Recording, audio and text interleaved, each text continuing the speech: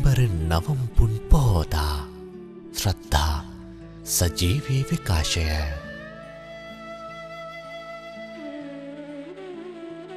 මාලබේ පිට්ටු කළ බුදු පසේපුතු අරහන්තක මහාවිහාර පරිශ්‍රයේ සිට මහමෙවුණාව භාවනා අසපු සංචිතයේ නිර්මාතෘවර අතිපූජනීය කිරිපත්ගොඩ ඥානානන්ද ස්වාමීන්ද්‍රයන් වහන්සේ විසින් පවත්වනු ලබන ධර්මදේශනය. නමස්කාරවේවා බුදුරුවනට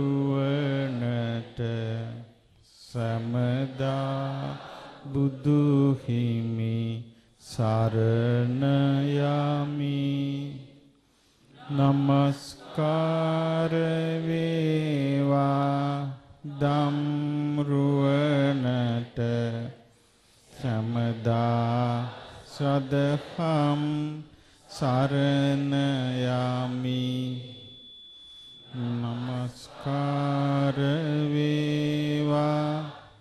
සංගරුවනට.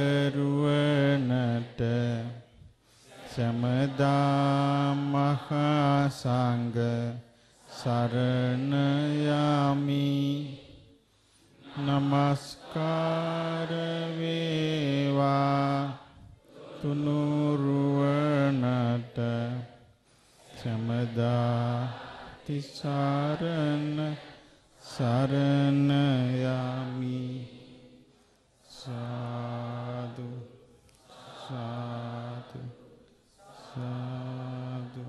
ගරුතර මහා සංඝරත්නයන් අවසරයි. සදහවත් පින්වත්නි අද පිට්ටුගල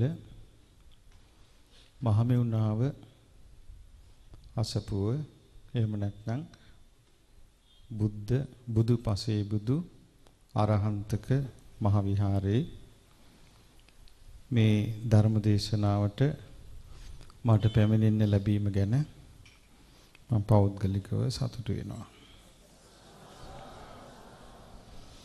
මං හිතන්නේ මං මේ විහාර මාලිගාව හැදුනාට පස්සේ බණ කියන්න අවස්ථාවක් මේ දැන් තමයි ලැබුණේ.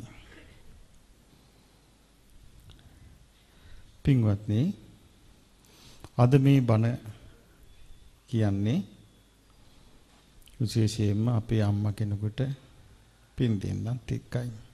කවුද කියලා දන්නවද? කවුද?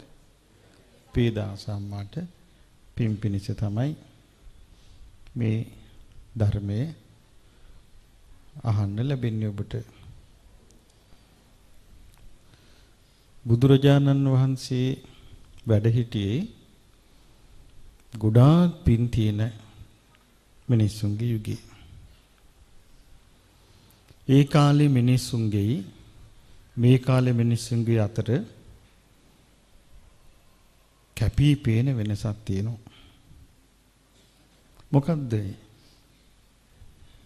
ඒ කාලේ මිනිසුන්ට පුළුවන්කම තිබ්බා ඒ බුදු කෙනෙකුගේ ධර්මයේ අවබෝධ කරගන්න. අවබෝධ කරලා ඒ ප්‍රතිඵල ගන්න. මේ කාලේ මිනිසුන්ට ඒ හැකියාව නැහැ. ඒක බොරුද හැබෑද?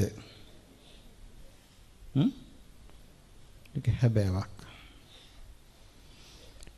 ඒ හැකියාව තිබුණා ඒ බුදුරජාණන් වහන්සේ පහළ වෙලා මුල් අවුරුදු 500 තුල. ඊට පස්සේ මිනිස්සුන්ගෙන් ඒ හැකියාව ටික ටික අඩු වෙලා ගියා. හැබැයි දේශනාවේ තියෙනවා එක තැනක මහණෙනි මනාකොට මේ භික්ෂූන් වාසය කරනවා නම් මේ ලෝකේ රහතුන්ගෙන් හිස් වෙන්නේ නැහැ කියලා. එහෙනම් මේ හැකියාව නැති උනේ සංඝයා වෙන පාරක ගිය නිසා. ඒ තමයි මහායානේ පටන් ගනිල්ල. බුදු බව පැතීම. බුදුරජාණන් වහන්සේ පිරිනුවම් පාලා අවුරුදු 500ක් වගේ ගියාට පස්සේ මහා උද්ඝෝෂණයක් එහෙම නැත්නම් මහා වාද විවාද හටගත්තා. මේ මාර්ගඵල ලැබලා වැඩක් නැහැ. ඒක ආත්මාර්ථකාමී එකක්. මිනිස්සු කෙරෙහි කැක්කම තියෙනවා නම් බුදු බව පතන්න ඕනේ කියලා. ලොකු වාද ගියා. ඒ වගේම ධර්මයේ කෙරෙහි සැක කරනවා පටන් ගත්තා. එතකොට මිනිසුන්ට අර කුසල් මතුවෙන පරිසරේ නැතුව ගියා.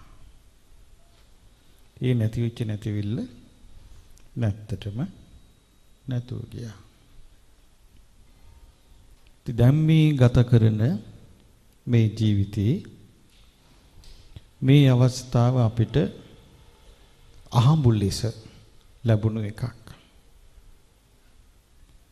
මේ අවස්ථාවේ ධර්මයේ හැසිරෙන්න ඒ කියන්නේ ධර්මයේ තුල ඉන්න අපි අසමර්ථ වුණොත් ඉස්සරහට තියෙන මිනිසුන්ගේ ආයුෂ අඩු වෙවි යන යුගයක්. ඒ මිනිස්සුන්ගේ ආයුෂ අඩු වෙවි යන යුගයක විසාකා සුමනා සුජාතා බන්දුල මල්ලිකාලා නැහැ. ඒව තියෙන්නේ පින්වන්තයන්ගේ යුගයේ. එතකොට එහෙම අනාගතයේ ඒ බඳු ඒවා බලාපොරොත්තු වීම විහිළුවක්. ඒ කියන්නේ ඒක ප්‍රායෝගිකව ලබන්න පුළුවන් එකක් නෙවෙයි. අපිට තියෙන්නේ මේ අවස්ථාවේ මනුස්ස ජීවිතේ ප්‍රයෝජනයක් ගන්නයි. මේ මිනිස්සු වෙලා අපි උපන්න පමණින් මනුස්ස ජීවිතේ ප්‍රයෝජනයක් ලැබුණා කියන්න බෑ. මේ මනුස්ස ජීවිතේ ප්‍රයෝජනයක් ලැබුණාද නැද්ද කියන එක තීරණය වෙන්නේ දැන් නෙමෙයි. මරුණට පස්සේ. මලාට පස්සේ ඉන්න තැනින් තමයි ඔප්පු වෙන්නේ. ගෙවපු මනුස්ස ජීවිතේ වැරදුනාද හරි ගියාද කියලා. ඔබට හිතේ හැටියට වර්තමාන මිනිස්සයා ගෙවන මනුස්ස ජීවිතේ මලාට පස්සේ මොකක් ඔප්පු වෙයිද? වැරදුනා කියලා ඔප්පු වෙයිද? හරි ගියා කියලා ඔප්පු වෙයිද? ඈ? වැරදුනා කියලා ඔප්පු වෙයි. ඒ මොකද හේතුව? manussත්වයේ තුල ඒ කියන්නේ මිනිසෙකුට ඒ මනුස්ස ජීවිතේ දියුණු කරන මනුස්ස ජීවිතයේ ඉහළ මට්ටමකට ගේන ಗುಣ ගන්න තමන් බැරි වුණොත් ಗುಣ ඇති කරගන්න බැරි වුණොත් මනුස්ස ජීවිතේ මරණින් මත්තේ වරදිනවා. ඒ වැරදුනාම ඒ වැරද්ද හරි ගස්සන්න කවුරුත් නැහැ. කවුරුත් නැහැ.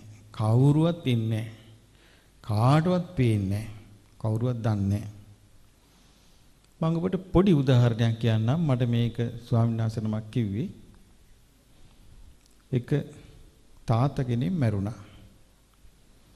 පුතා ඒ කොහෙද ගියපු වෙලාවක අර මලවුන් ගෙන්නන තැනක් මොකක් හරි වෙන්නේ ඇති.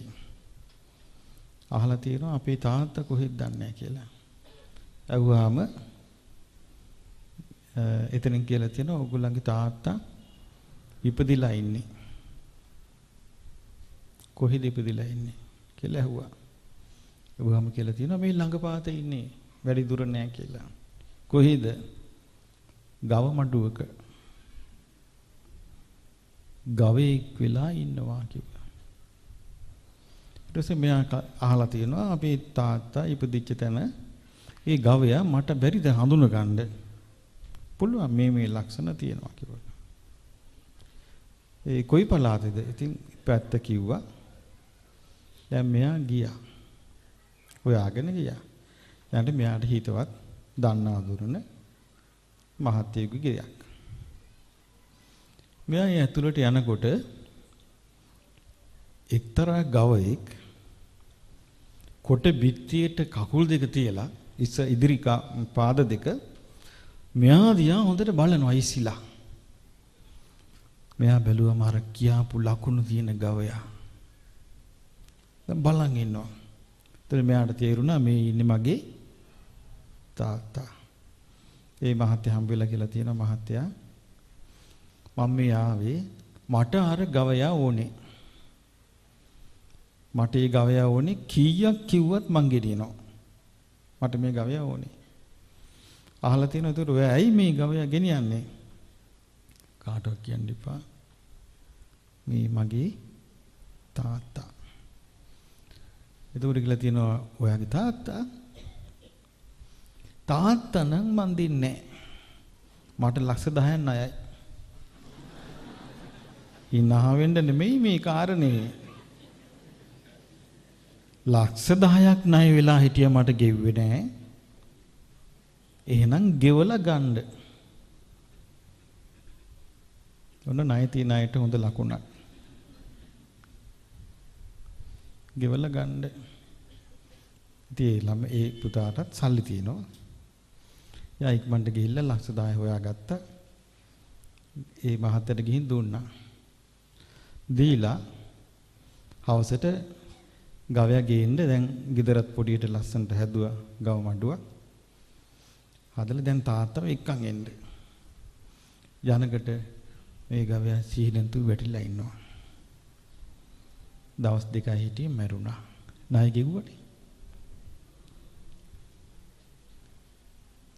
දැන් බලන්ද ණයතුරුස් වල විපාක දැක්කද ණය ගිවෙන හැටි. ඉක්මනට ණය තියෙනවා නම් නිදහස් වෙන්න. සෙල්ලම් නැහැ ඒක හොයාගන්න බැරි වුණා නම් මොකද වෙන්නේ? කවුරුත් දන්නේද කවුරුත් හිතයිද මේ තාත්තා අසවල් දෙන ගවයෙක් වෙලා ඉපදිලා ඉන්නවා දැන් මෙහෙම ණය ගෙවනවා කියලා? කවුරුත් දන්නවද? දැනගන්න කිසිම කෙනෙක් නැහැ. ඔන්න සසරේ හැටි. එතකොට මේ අපි හිතාගෙන ඉන්නවට වඩා වෙනස් දෙයක් අපිට වෙනවා. අපි අපි දන්නවට වඩා නොදන්නා දෙයක් අපිට වෙනවා.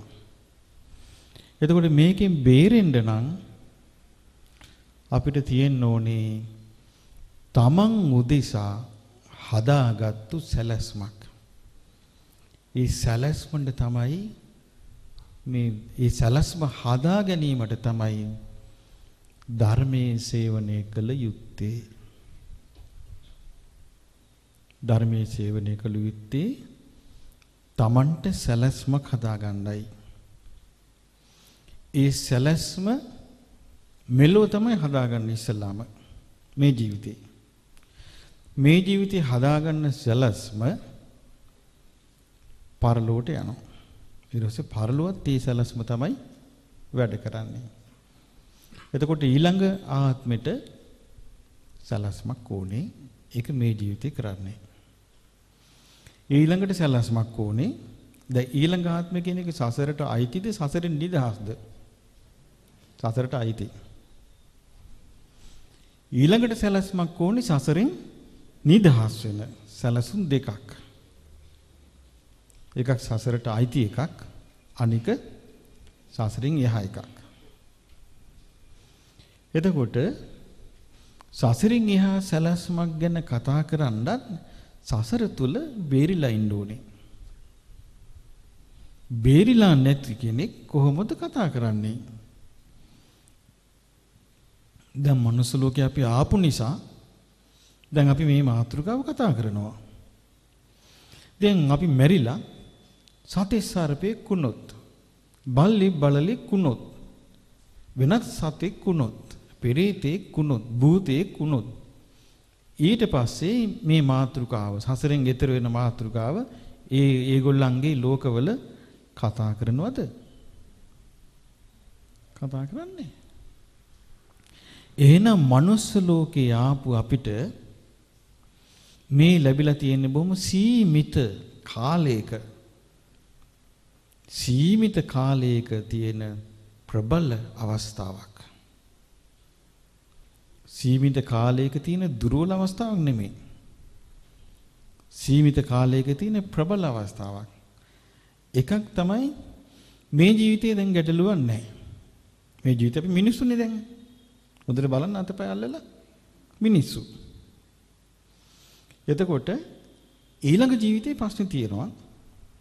මොකද ඊළඟ ජීවිතේ මක් වෙයිද? ඒ මේ ජීවිතේදී අපිට මේ අවස්ථාව අහිමි වුණොත් දිගටම අහිමි. දැන් අපි කියමු කවුරු හරි කෙනෙක් මැරිලා දුගතිය උපන්න කියමු.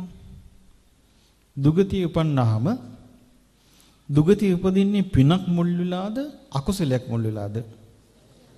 අකුසලයක් මුල් වෙලයි දුගතියක උපදින්නේ.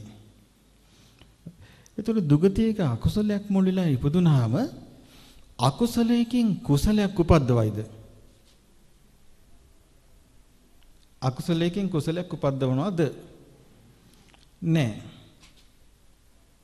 කුසලයක් උපද්දවන්න නම් කුසලයක් ඕනේ. අකුසලයකින් කුසලයක් උපද්දවනවා නම් වැසිකිවලෙත් මානෙල් පිපෙනවා. අකුසලෙන් කුසලයේ උපද්දවන්නේ කුසලයෙන් තමයි කුසලයේ උපද්දවන්නේ. දැන් අපි මනුස්ස ලෝකේ ඉන්නවා. මේක මොකෙන් උපද්දවපු එකක්ද? කුසලයකින් උපද්දවපු එකක්. එහෙනම් කුසලයෙන් උපද්දවපු මේ ජීවිතය තුල තව කුසල් උපද්දවන්න පුළුවන්. ඒකයි මේකේ තියෙන වටිනාකම. එතකොට මේ කුසලයෙන් කුසලයක් උපද්දවන්න පුළුවන් එක වෙනසෙන්නේ මොකක් නිසාද? කුසලයෙන් කුසලයක් උපද්දවන්න පුළුවන් වුණාට අපි ළඟ අකුසල් තියෙනවා. එතකොට අපි සිහියෙන් තොරව නුවණින් තොරව වාසය කළොත් අර කුසල් වලට තියෙන ඉඩකඩ නැති වෙලා මොකද වෙන්නේ? අකුසල් වැඩ කරන්න ගන්නවා. අකුසල් වැඩ කරන්න ගත්තාම අර කුසලයෙන් උපද්දපු ජීවිතේ අකුසලෙන් වැහිලා යනවා. තේරෙනවද කියපේක? ඊට පස්සේ අකුසලෙන් අකුසලයට යනවා. එහෙම වුණාම බේරන්න බේරන්න බෑ. බේරන්න බෑ. ඉතින් එහෙම තමයි දැන් ওই പ്രേත වස්තු වලම තියෙන්නේ. මානුෂ ලෝකේ හොඳට හිටපු අය. පෙරිතේ වෙලා. නරක තැන්වල ගිහිල්ලා. ඒකට හේතුව මොකද්ද? ඒ ජීවිතේ සැලැස්මක් නැතිකම. ජීවිතයකට සැලැස්මක් හරි විදියට හිතට වැදුනොත් එයාගේ හිතේ මේ සැලැස්ම වැඩ කරනවා. මොකද මේ මේ කාලේ දැන් බුදුරජාණන් වහන්සේ වැඩ හිටියේ කාලේ නම් උන්වහන්සේ පින් තියෙන එක්කෙනා හොයාගෙන ගිහිල්ලා බේර ගන්නවා. සාමාන්‍ය නැත්තම් මහා මොග්ගල්ලාන මහරහතන් වහන්සේ මහා කස්සප මහරහතන් වහන්සේ මුන්වහන්සේලා ගිහිල්ලා පින් තියෙන එක්කෙනාව බේර ගන්නවා. අද මේ පින් තියෙන එක්කෙනා කොහෙද ඉන්නේ කියලා කවුරුවත් දන්නේ නැහැ. ඉතින් බේර ගන්න කෙනෙක් නැහැ. එහෙනම් තමන්ම තමයි අද තමන්ව බේරාගත යුත්තේ. තමන් තමයි තමන්ව පිළිසරණ කරගත යුත්තේ. ඒකට දෙන්න තියෙන සහාය තමයි අපි දෙන්නේ. සහාය තමයි අපි මේ ධර්මයේ තේරෙන භාෂාවෙන් ලියලා තියෙනවා. ඒ ලියලා තියෙන්නේ දහම් දැනුමක් අරගෙන තමන්ව බේර ගන්න විදියට තමන්ගේ කල්පනාව හරි ගස්ස ගන්නයි. ඊට පස්සේ තමන්ව බේර ගන්න තමන්ට පුළුවන්කම තියෙනවා. බාහිර කෙනෙකුට තමන්ව බේර ගන්න බෑ. දැන් බුද්ධ කාලෙත් බුදුරජාන් වහන්සේ බලනවනේ සිත පහදවා ගන්න හැකියාව තියෙන එක්කෙනාව බලනවා. බලලා ඒ සිත පහදවා ගන්න හැකියාව තියෙන එක්කිනා හොයාගෙන යනවා. දැන් ඔබට මතක ඇති අර පොඩි දරුවෙක් හිටියා. මට්ට කුණ්ඩලි. එදා බුදුරජාණන් වහන්සේ මට්ට කුණ්ඩලි ළඟට ඩොගියා නම් මට්ට කුණ්ඩලි කොහෙද යන්නේ? නිරේ යන්න හිටියේ. උන්වහන්සේ දැක්ක මේ කොලිපැටියා මැරිලා නිරේ යනවා. ඒ නිරේ යන එක දැකලා ඒකෙන් වලක ගන්න තමයි උන්වහන්සේ වැඩියේ. වැඩලා හිත පැහැදෙව්වා. මොකද්ද පැහැදෙව්වි? හිත. ඒ පැහැදුණු හිතට පුළුවන් වුණා මනුස්ස ලෝකෙන් යාව උඩට ගන්න. අන්න වෙනස බලන්න. දැන් එක දවසක් මහා කස්සප මහරහතන් වහන්සේ සතියක් නිරෝධ සමාපත්තියට සමවැදී ඉඳලා උන්වහන්සේ බැලුවා මං අද කාගේ දාණයද ගන්නේ බැලුවම දැක්කා ආච්චි කෙනෙක්ව පෙවුනා දැක්ක ඒ ආච්චි ඉදා මැරිනවා මැරිලා නිරියනවා එතකොට මේ මහකස්ස මහරහතන් වහන්සේ කල්පනා කළා මං කොහොම හරි මේ ආච්චිව නිරේට යන එකෙන් වළක්ක ගන්න ඕනේ. නිරේට යන එකෙන් වළක්ක ගන්න. අද කාලේ අපි කල්පනා කරන්නේ කොහොම හරි බටේ ගහන්න හුස්පනට. කොහොම හරි තියාගන්න මෙහි. බලන්න වෙනස. තියාගන්න බෑ. යනවා. අප බලන්නේ කොහොම හරි කටු ගහලා සීලයින් ගහලා බෙහෙත් ගහලා තියාගන්න බෑ. ඒ ආච්චි වෙන ඈත ගම්මානයක. ඒ ගම්මානයේ මිනිස්සුන්ට හැදුනා බෝ වෙන රෝගයක්. ඇදිලා මැරුණා. මේ ආච්චි අමාරුවෙන් ගෙදරින් පැන්න පැනලා රජගහ නුවරට ඇවිල්ලා මේ කාටවත් කිව්වේ නෑ තමන්ගේ තොරතුරු. අතරමං වෙච්ච කෙනෙක් හැටියට ගිහිල්ලා ගෙදරකට ගිහිල්ලා කිව්වා මේ පිළිකන්නේ. පිළිකන්න කියන්නේ මොකද්ද? ගේ පිටිපස්සේ. ගේ පැත්ත පිටිපස්ස නෙමෙයි අන් පැත්ත. එතකොට ඒ පැත්තේ පිළේ වාඩි වෙලා කිව්වා මේ අනේ මම මෙතන ඉන්නම් මට කාත් කවුරුත් නැහැ කිව්වා. ඒ මිනිස්සු හා ඉන්න කිව්වා. ඉතින් මොනවා හරි ගෙදර හතර දෙයක් කන්න දෙනවා. දැන් එදා යාච්චිගේ ආයුෂ ඉවරයි. යාච්චි මැරිලා නිරයන්න ඉන්නේ. දැන් මහා කස්සප මහරහතන් වහන්සේ කුටියෙන් වැඩියා. වඩිනකොට මෙන්න එනවා. දානමාන හදාගෙන. කවුද එන්නේ? සක්දෙවිඳු. සක්දෙවිඳු එනවා. අත වැහුවා. වහලකුව දේවේන්ද්‍රය ඔබට පින් තියෙනවා. මම මේ පින් නැති එක්කෙනෙක් හොයාගෙන යන්නේ. අනිත් දෙවිවරු කිව්වා අනේ නෑ අපි එක ගන්න කිව්වා. ඕගොල්ලන්ට පින් තියෙනවා. මම මේ පින් නැති එක්කෙනෙක් හොයන් යන්නේ. එතෙන්ට ගියාම ඒ ආච්චිට එදා හම්බ වෙලා කැඳ ටිකක්. හම්බෙලා සීතල වෙලා රොඩු කෑලි වැටිලා. ඊට පස්සේ මේ ආච්චි ගාවට ගෙන් හිට ගත්තාම ඒ ආච්චි කල්පනා කළා නේ. මේ මහෝත්තමයන් වහන්සේ ඇයි මහා කස්ස මහරහතන් වහන්සේ බුදුරජාණන් වහන්සේගේ රූපේ තියෙන්නේ. මහා පුරුෂ ලක්ෂණ තියෙනවා කීපයක්. පැහැදුනා හිත. නමුත් දෙන්න දෙයක් බැලුවා සීතල වෙලා දෙන්න දෙයක් නැහැ. ඊට පස්සේ අර ආච්චි කිව්වා අනේ ස්වාමීනි තා පොඩ්ඩක් ඉස්සරහට වඩින්න කිව්වා. එතකොට අර ගෙදර අය කෑම පොඩ්ඩක් අරගෙන ඉන්නවා පාත්‍රයට දාන්න. මහා කස්සප මහ රහතන් වහන්සේ අත වැහුවා. එපා කිව්වා. ආච්චි දිහා බැලුවා. ඒතර ආච්චිට තේරුණා මේ මගින් තමයි බලාපොරොත්තු. අර කැඳේක ඉරුඩු ටික අයින් කළා අර කැඳේක පාත්‍රයට පූජා කළා. පූජා කළාට පස්සේ අහනවා මහා කස්සප මහරහතන් වහන්සේ අම්මා ඔය අම්මා දන්නවාද? ඔය අම්මා කවුද කියලා? අනේ නෑ ස්වාමීනි. මන් දන්නේ නෑ කිව්වා. මීට ආත්ම තුනකට කලින් ඔය අම්මගේ මව් කුසියේ මම හිටියා. ඔය අම්මගේ දරුවෙක් වෙලා මං හිටියා. ඒ අම්මට හරි ප්‍රීතියක් හටගත්තා. හරි සතුටක් හටගත්තා. අනේ මේ වගේ උත්මේක මීට ආත්ම භාව තුනකට කලින් මගේ කුසේ. එදා මොකද වුනේ? ඒ අම්මා හරිය ප්‍රීතියෙන් වාසය කරනවා. හවස මැරුණා. හවස මැරුණා. මහා කස්සප මහරහතන් වහන්සේ නොසිටින්න නොවඩින්න නිරේ. කාටවත් පේනවද මෙරිලා ගියපු තැන වෙන අයට? එදා ඒ අම්මා මැරුණා. දැන් බලන් හිටියා සක්දෙවිඳු. තවතිසාවි උපදී කියලා. තවතිසාවි නැහැ. ඊට පස්සේ මොකෝ මෙහෙ නාවේ ඊට පස්සේ බැලුවා යාමෙ ගිහිල්ලාද? යාමෙත් නැහැ ඊට පස්සේ බැලුවා තුසිතේ ගිහිල්ලාද? තුසිතෙත් නැහැ ඊට පස්සේ බැලුවා නිම්මාන් රතිය ගිහිල්ලාද? මේ නිම්මාන් රතියේ ඉන්නවා. කවුද එක්කන් ගියේ? පහන් සිත.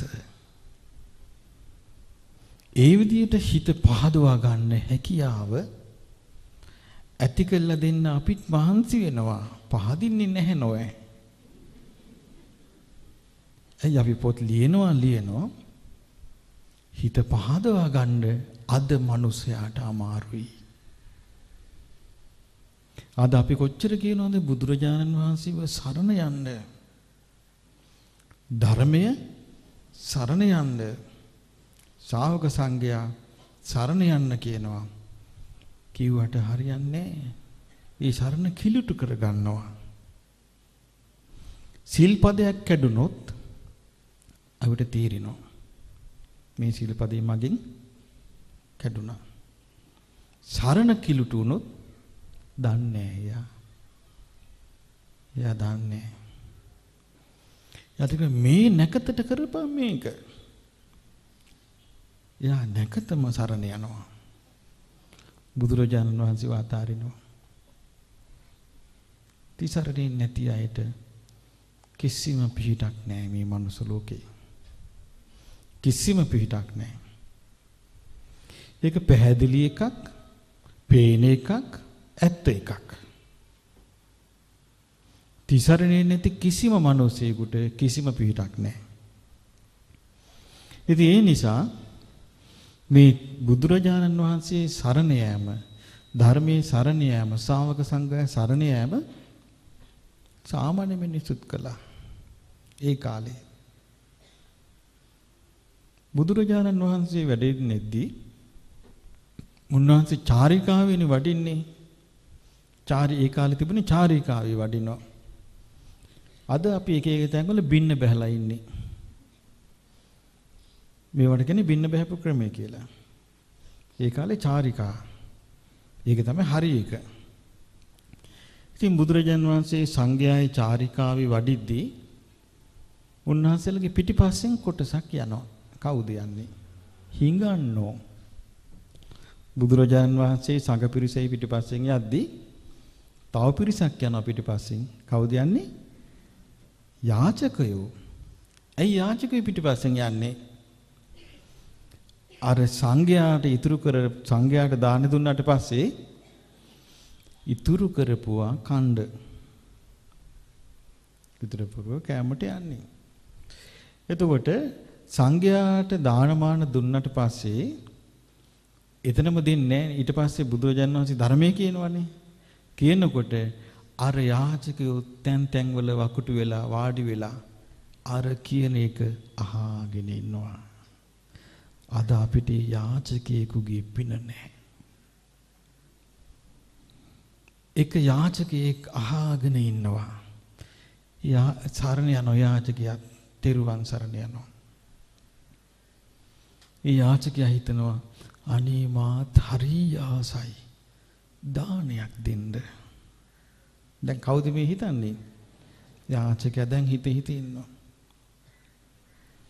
දවසක් මේ යාචකයාගේ මේ අදහස කෙනෙකුගේ හිතට වැටුණා.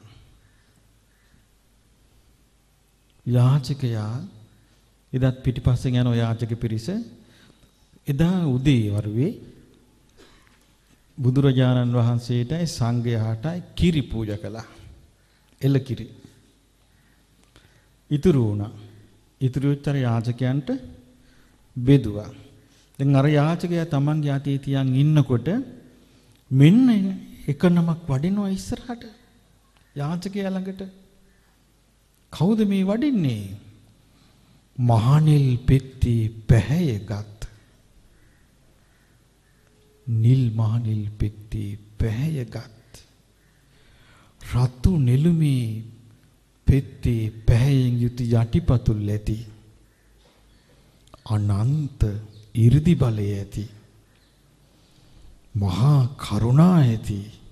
නිකලෙස් මහා මොග්ගල්ලාණන් වහන්සේ පාත්‍රය අල්ලගෙන වඩිනවා කවුරු ළඟටද? අර යාචකයා ළඟට. එතකොට මේ යාචකයා මොග්ගල්ලාන මහරහතන් වහන්සේට අර කිරි ටික පූජා කළා. පූජා කළාම අර යාචකයාට ඉහවහා ගියා ශ්‍රද්ධාව ප්‍රීතිය සිත පිරීලා ගියා. ඒ යාචකයා මොගලන් මහරහතන් වහන්සේගේ ඒ රෝස පාට සිරිපතුල් ස්පර්ශ කළ වන්දනා කළාට පස්සේ යාචකයා කියනවා පින්වත ඔබ බුදුරජාණන් වහන්සේම සිහි කරන්න. ඒ යාචකයා පුදුම කෙනෙක්. එයා එතනින් නැගිට්ටේ නෑ. මුගලන් මහරහතන් වහන්සේ වැඩියා. එතනින් නැගිට්ටේ නෑ. එහෙම්මම බිම ඔළුව තියාගෙන බුදු ගුණ මෙනෙහි කර කර හිටියා. එතකොට හිත සමාධි වුණා. සමාධිය තුල සතුටු ඉන්නකොට ඇඟ රිදෙන්න ගත්තා. නැගිට්ටේ නෑ. සමාධිය නැතුව ගියා. ආයෙමත් යා විදර්ශනා කළා. ඇයි දැන් අහලා තියෙනවනේ ධර්මයේ? ආයෙමත් විදර්ශනා කර කර ඉන්නකොට ආහිත සංසිඳුණා. ආයෙත් සමාධි වුණා. දවසක් නෙමෙයි, දෙකක් නෙමෙයි, තුනක් නෙමෙයි, හත් දවසක් එතනම හිටියා. බලන්න මේ යාචකයෙක් වුණත් හිතක තියෙන බලේ හත් දවසක් එතන හිටිය නැගිටින්නේ නැතුව අවසාන මොහොතේ සෝවාන් වෙච්ච ශ්‍රාවකෙක් හැටියට මැරුණා. ඒ යාචකයා උපන්නා දෙව්ලොව. දැන් එයා ඉන්නේ කොහෙද? දෙව්ලොව. මේ වෙද්දි දෙව්ලොව. අප්සරාව 60000ක් පිරිවර. අප්සරාව ආවා.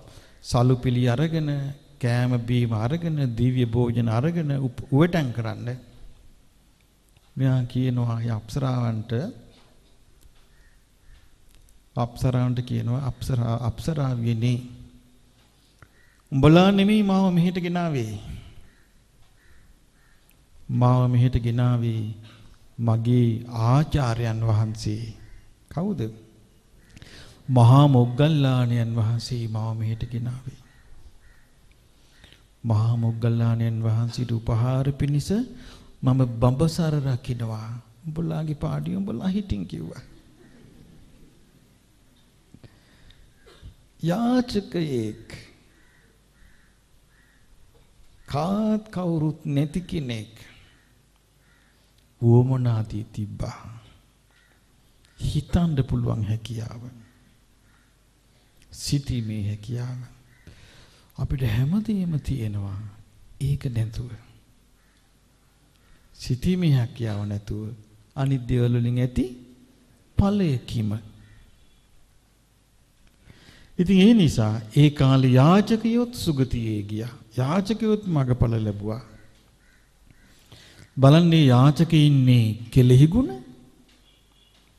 දිවේ ලෝකෙ ගිහිල්ලා පිරිනුවන් පාවදාල මහා මොග්ගල්ලාණන් වහන්සේ වෙනුවෙන් බඹසර රකින්නවා. උන්වහන්සේට උපහාර පිණිස බලන්නේ මතක් කරන හැටි සත්පුරුෂ කම සත්පුරුෂ ගුණේ මිනිසයා පිරිහෙනකොට ආන් එව්වා නැති වෙලා යනවා. සත්පුරුෂකම් කෙලෙහි ගුණ කවුද මේ Tamanට උදව් කළේ කියන එක නැති වෙලා යනවා අමතක වෙනවා. ඒක තමයි පිරිහීම කියන්නේ. පිරිහෙන කාලෙට මැරෙන මැරෙන අය දුගතිය උපදිනවා. ධර්මය කියලා කියන්නේ මතක තබා ගන්න දෙයක් නෙමෙයි. ධර්මය කියලා කියන්නේ මතක තබා ගන්න දෙයක් නෙමෙයි. ධර්මය කියන්නේ ಗುಣ විශේෂයක්. ධර්මය කියන්නේ ಗುಣ විශේෂයක්. ඒ ඒ ගුණේ Taman තුල තියෙනවා නම් එයා තුල ධර්මයේ තියෙනවා. අපි කියමු ධර්මයේ ඔක්කොම මතකයි මොකක් ගුණයක් නැහැ. දැන් අපි මෙහෙම ගමු. ධර්මයක් හොඳට කටපාඩම්. හඬත් මිහිරි. රූපෙත් ලස්සනයි. අන්ත දුෂ්ටයි. තව කෙනෙක් ඉන්නවා ලස්සනක් නැහැ. පාඩනුත් නැහැ. නමුත් හොඳට කෙලෙහි ගුණේ දන්නවා. හොන් තරහ නැති සිතින් වාසය කරනවා. මේ දෙන්නකින් ශ්‍රේෂ්ඨ කවුද? පළවෙනියද දෙවෙනියද? දෙවෙනියා. එතකොට කොහෙත් ශ්‍රේෂ්ඨ වන්නේ ධර්මයයි. ධර්මය කියලා කියන්නේ ස්මරණය නෙමෙයි. එක එක්කෙනාට මතක ශක්තිය තියෙන්න පුළුවන්. ධර්මය කියන්නේ ඒක නෙමෙයි. ධර්මය කියන්නේ ගුණයක්. මොකද්ද ගුණේ? අකුසලයේ උපද්දවන්නේ නැතුව කුසලයේ උපදවලා කුසලයේ තුල රැඳී සිටීම. කුසලයේ තුල රැඳී සිටීම තමයි ගුණේ.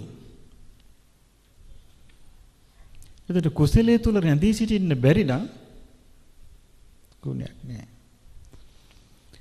බුද්ධ කාලේ එක බ්‍රාහමණයෙක් හිටියා. ඒ බ්‍රාහමණයට තිය අයිති විශාල උක්යායක්. උග්ගස් ලොකු උක්වත්තක්. මේක බලන්න මුරකාරයෙක් හිටියා. මේ මුරකාරයා මේ භික්ෂුන් වහන්සේලා ඇසුරු කරනවා. තෙරුවන් කෙරේ පැහැදීමෙන් හිටිය සරණ තිබුණා. දවසක් රහතන් වහන්සේලා තුන් නමක් සවැත් නුවර වඩින්න ගමන් මේ මුරකාරයාගෙන් ඇහුවා පින්වත මේ ඉඳලා සවැත් නුවරට අද අපිට ය아가න්න පුළුවන් වෙයිද? අනේ බෑ ස්වාමීනි. අද නම් බෑ කිව්වා. එහෙනම් නවතින්න අපිට තැනක් පොඩ්ඩක් කියනවාද? ස්වාමීනි කොහෙවත් වඩින්න එපා මං හරි ගසලා දෙන්නම් තැනක් කිව්වා. දැන් තුන්නමන්නේ. ඊට පස්සේ ඉක්මනට ගිහිලා උග්ගස් දෙකක් අතරේ උග්ගස් ගස් මෑත් කළා උග්ගස් ගැට ගහලා පොඩියට හැදුවා කූඩාරම වගේ. හදලා බිම පිදුරු දාලා කිව්වා ඔබ වහන්සේ මෙතන ඉන්න කියලා. එක නමකට. තවත් ආයෙමත් එක තැනට ගිහලා ආයෙ උග්ගස් දෙකක් පටලවලා ආයෙ හදලා එතනට පැදුරක් දැම්මා. දාලා කිව්වා ඔබ වහන්සේ මෙතන ඉන්න. තමන් ඉන්න පැලට එක්කන් ගියා එක නමක්. එක්කන් ගිහලා කිව්වා ඔබ වහන්සේ මෙතන ඉන්න. තැන් තුනක් හදලා දුන්නා. හදලා දීලා දැන් මෙයාට තියෙනවා කෑමට ගෙනාපු හාල්. මෙයා උදේ පාන්දර හාල් ටිකක් උයලා බතක් උයලා උග්ගහක් මිරිකලා ඒ බතට දැම්මා. දාලා ඒක හදලා පූජා කළා තුන් නමට. උන්වහන්සේලා වැළඳුවා. වළඳලා පින් දුන්නා. උග්ගස් තුන සුද්ධ කරලා දුන්නා. ඔබ වහන්සේලා මේකත් අරන් යන්න වඩිනකට මේ පිපාසිට මේක වළඳන්න කිව්වා. දැන් ඒ තුන තරගෙන යනවා. එනකොට අර උක්කිතේ අයිතිකාරයා අර බ්‍රාහ්මණයා එනවා ඉස්සරහට. හ්ම් කොහින්ද මේ උග්ගස් දැන් බ්‍රාහ්මණයා කල්පනා කළා. ගිහිල්ලා ළඟට ගිහිල්ලා ඇහුවා තමුන්හන්සලා කොහේ යන කට්ටියක්ද? අපි මේ සවැත් නුවරට යන ගමන් කිව්වා. කොහෙද නැවතුනේ? අර අසවල් උක්කිතේ ඒ නවතන් දුන්න නවතෙන් හම්බ වුණා කිව්වා.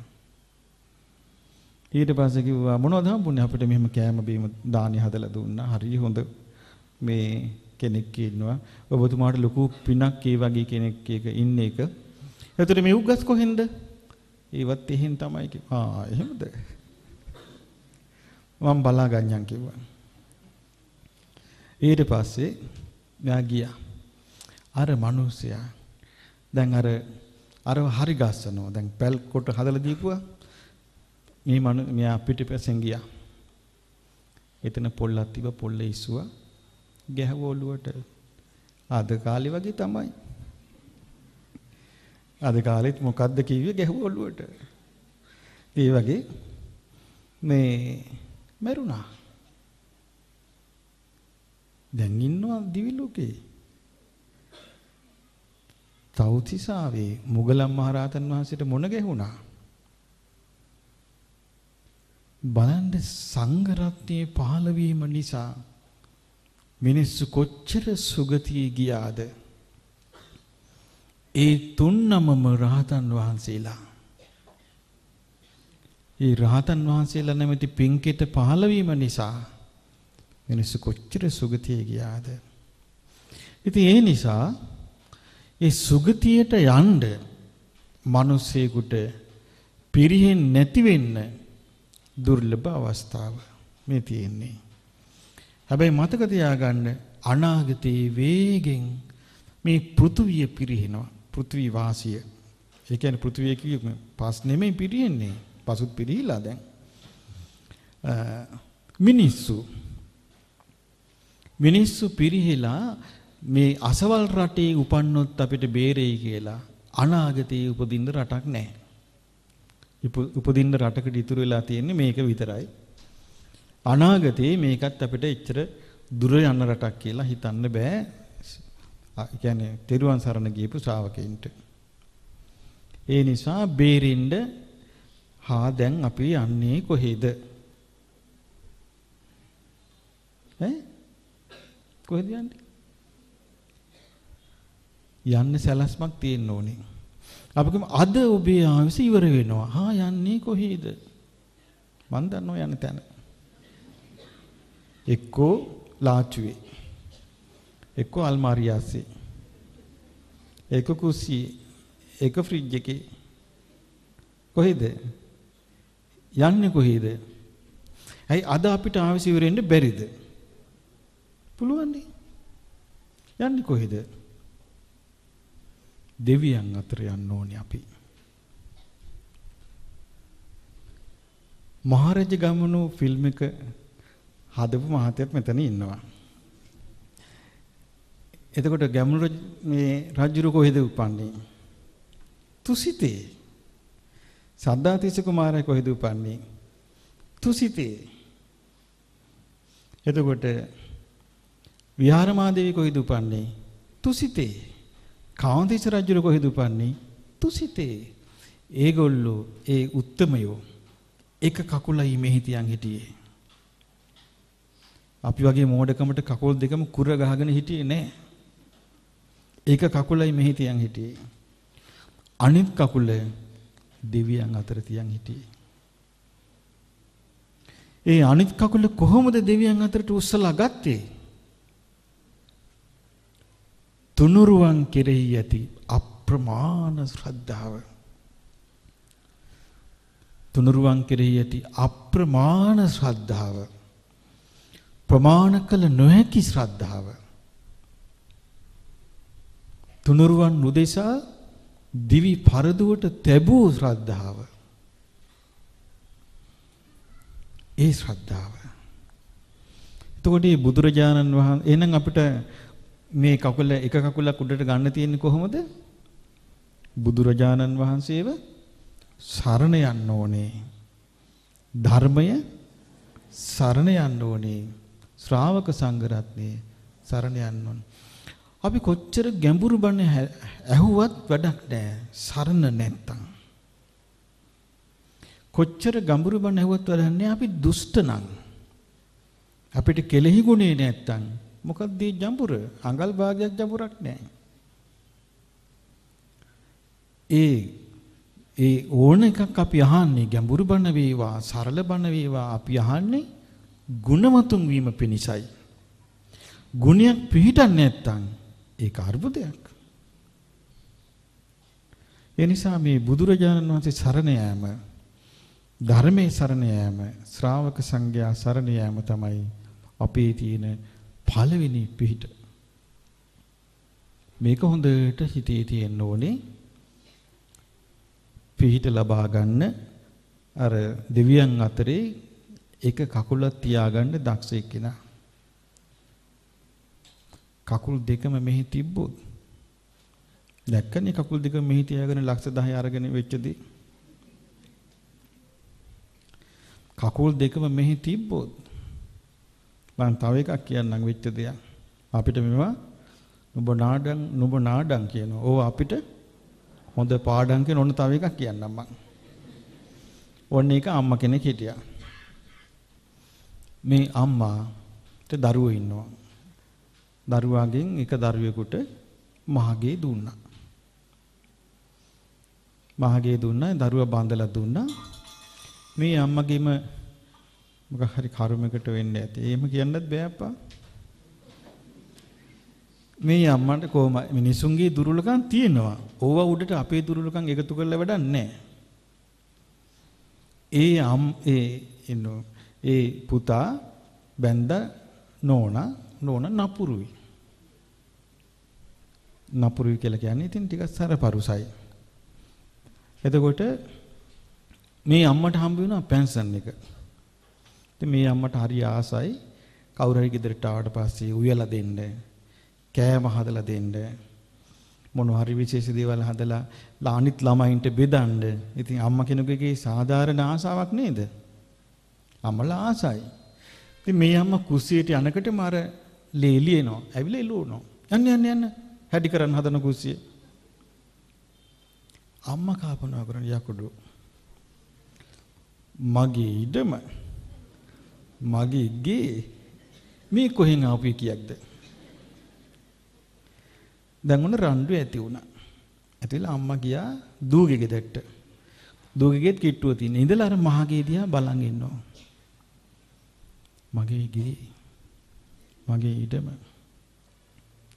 මට මේ කුස්සියට එන්න දුන්නේ මේ දවසක් අම්මට ෂස්ටජන් එකක් හදලා ගෙනත් දුන්න මිනිබිරියක්. එතකොට අම්මා ඇහුවා කොහෙද මේ? අර නැන්දා දුන්නා. විසිකලා. එදා ඉඳලා ශස්ත්‍රජම් බොන්නේ නැහැ. hina නෙමෙයි ඔබටත් වෙයි ඕවා. අපේ හිතෙත් ඒ කෙලෙස් එහෙමම තියෙන අය අනුන්ට hina වෙලා විසඳුන්නේ ඒ අම්මා ඇත්ත වශයෙන්ම අපිට බේර ගන්න අවස්ථාවක් ලැබුණ නැති වුණා මැරුණා. ලිප්ප ළඟ ඉපදුනා. ඇඳුනුත් නැහැ වස්ත්‍රත් නැහැ. පිහිටක් නැහැ.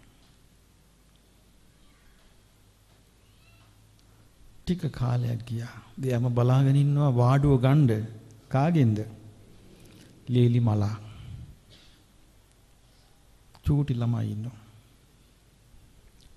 මරුණා හේතු හොයාගන්න බෑ.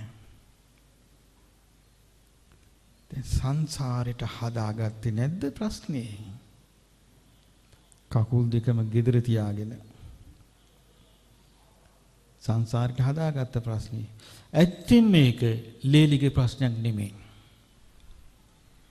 ලේලිට කේන්ති ගියා කියමු කේන්ති යනවා කියමු. ඒ අම්මා මේ බෞද්ධ කියලා නමට හිටපු අය. සරණ නැහැ. ඒක මම කිව්වේ ධර්මය කියන්නේ මතකේ නෙමෙයි කියලා. ධර්මය කියන්නේ ගුණයක්. මට මේ බුද්ධ දේශනාවේ හොඳට වැදිච්ච කරුණ තියෙනවා. බුදුරජාණන් වහන්සේ වදාලා කුද්ධෝ අත්තං නජානාති කුද්ධෝ අත්තං නපස්සති කිපුණු විට යහපත නොදනී. ක්‍රෝධය ඇති විට යහපත නොදනී. කුද්ධෝ අත්තං නපස්සති ක්‍රෝධයේ ඇති විට යහපත නොපෙනී. අන්ධන්ත මිදං තදා හෝති එකල්හි ඔහු අන්ධයෙකුසේ වැසියයි. යම් කෝදෝ සහතේ නරං යම් ක්‍රෝධයක් පුද්ගලයාව යටපත් කරයිද? ඒ ඒ අම්මට ඒ හානි කරපු ක්‍රෝධය අප තුල නැද්ද? අප තුල තියෙනවා. එහෙනම් ඊයේ ඒ අම්මට කරපු හානිය හෙට අපට කරන්න පුළුවන්. එතකොට මේ ක්‍රෝධයේ පිටස්තර දෙයක් නෙමෙයි. Taman තුල තියෙන්නේ. එතකොට ඒ වගේ ඔය වගේ දේවල් නොසිතූ දේවල් අනපේක්ෂිත දේවල් බලාපොරොත්තු නොවෙච්ච දේවල් අපේ ජීවිතවලට වෙන්න බැරිද? වෙන්න පුළුවන්. අනික ක්‍රෝධය හටගන්න මහලුකු වෙලාවක් යනවාද? යන්නේ සුළු දෙයකින් උනත් ක්‍රෝධය හටගන්න පුළුවන්. එතකොට දැන් අපි අපි තිසරණේ පිටලා ඉන්නවා. මේ වගේ ක්‍රෝධයක් හටගත්තොත් අපි මොකද්ද කරන්න ඕනේ? මොකද්ද අපි කරන්න ඕනේ? ඉස්සෙල්ලාම මොකද්ද කරන්න ඕනේ? ක්‍රෝධයක් හටගත්තොත් ඈ ඉස්සල්ලාම කරන්න ඕනේ සිහි උපද්ද ගන්න එකයි. මොකද ඉස්සලා කරන්නේ? සිහි උපද්ද ගන්න ඕනේ කොහොමද උපද්ද ගන්නේ? සදෝ සංවා චිත්තං සදෝසං චිත්තන්ති පජානාති. ද්වේෂ සහිත සිතක් හටගත්ත ගමන් ද්වේෂ සහිත සිතක් මා තුල හටගත්තේය දැනගනි. ඉස්සල්ලා කරන්නේ මොකද්ද? සිහි උපද්ද ගන්න එකයි. සිහිය තමයි රැකවරණය දෙන්නේ. ඒ සිහිය නැතුව දැන් ක්‍රෝධය හටගෙන ටික වෙලාවක් ගිහිල්ලා හරි සිහිය උපද්දව ගත්තොත් බේරෙන්න පුළුවන්. නැත්තම් සිහිය උපද්දවා ගන්න බැරි වුණොත් කවුරුවත් කියන දෙයක් යාගේ ඔලුවට යන්නේ අපි කියමු මේ ක්‍රෝධය ඇති වෙච්ච වෙලාවක. අපි කියමු මෙහෙට මෙහෙට මෙනවා කියමු අම්මා තාත්තා දෙන්නෙක් මෙහෙට එනවා සිල් ගන්න. මගදී රණ්ඩුවක් අල්ල ගන්නවා. ඔන්න මෙහෙට දැන් ආව සිල් ගන්න. දැන් සිලුත් ගන්නවා බුද්ධං සරණංගයි. ඔය ඔක්කොම දැන් කියනවා. කවිත් කියනවා. තාලෙට ඔළුවත් හොල්ලනවා. ක්‍රෝධේ.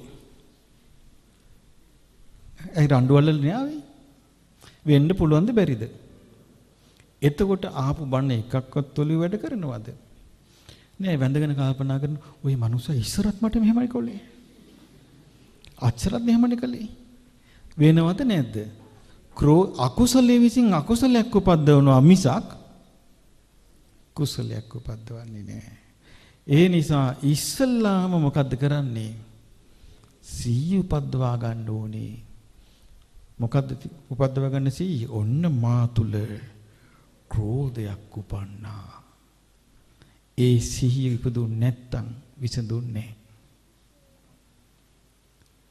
එතන ඉඳලා තමයි විසඳුම එන්නේ. සිහිය පිහිටන්න ඕනේ සතිපට්ඨාන. සිහිය පිහිටන්න ඕනේ සිහිය පිහිටියොත් විසඳුම එනවා. ඔන්න මා තුල ක්‍රෝධයක් උපන්නා කියන සිතුවිල්ල ආවහම ඊට පස්සේ මොකද්ද වෙන්නේ? ඊට පස්සේ නෝන වැඩ කරන්න ඉඩ තියෙනවා. සිහිය උපන්නේ නැත්තම් නෝනට ඉඩ නැහැ. එහෙනම් හොඳට මතක තියාගන්න පින්වත්නි නුවණ කියන එක තියෙන්නේ මොකක් එක්කද? සිහියත් එක්කයි. සිහිය නැත්තම් නුවණ වැඩ කරන්නේ නැහැ. එතකොට ඔන්න සිහියෙන් කල්පනා කර ඔන්න මාතුළු ක්‍රෝධයක් උපන්නා කියලා හිතනවා. හිතනකට ඊළඟට මොකද්ද හිතන්න ඕනේ? දැන් ඔන්නේ මෙයාට පේනවා ක්‍රෝධ සිතක් දැන් Tamanට හට අරගෙන ක්‍රෝධය. දැන් කල්පනා කරන්න ඕනේ මෙහෙමයි. ඔන්න මාතුල ක්‍රෝධයක් උපන්නා. බැරි වෙලා දැන් මගේ ආයුෂ ඉවරුනොත් මේ වෙලාවේ. මම මැරෙන්න වෙන්නේ ක්‍රෝධ සිතකින්නේ. දැන් කකුලක් උඩට තියාගෙන නම් ඉන්නේ. එයා මොකද කරන්නේ? ඒ තමන්ගේ සිතේ ක්‍රෝධයේ තිබීම ගැන සතුටු වෙයිද? නෑ. එහෙනම් අර බාහිර එක එයා අමතක කරනවද නැද්ද? එහෙනම් බාහිර ප්‍රශ්නයට වැඩක් නැහැ දැන්. ලේලිගේ ප්‍රශ්නේ වැඩක් නැහැ දැන්. දැන් ප්‍රශ්නේ තියෙන්නේ ලේලි ගාව නෙමෙයි. කවුරු ළඟද? තමන් ගාව. දැන් මොකද කරන්නේ යා? දැන් කල්පනා කරනවා මම දැන් මැරුණොත් වෙන්න බැරිද ඒක? අන්න සැනකින් ක්‍රෝධය දුරු කරයි.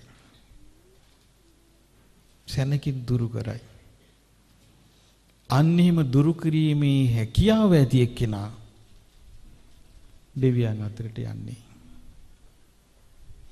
දෙවියන් අතරට ප්‍රාර්ථනාවකින් යන්නේ නැහැ. දැන් සමහර අම්මලා ඉන්නවා දැන් ඒගොල්ලෝ කල්පනා කරන්නේ දැන් හරි දැන් අපි කාලය තිස්සේ පින් කරනවා අපි දිව්‍ය ලෝක යනවා කියලා. එහෙම එක්කන් යන්න කවුරුවත් නැහැ.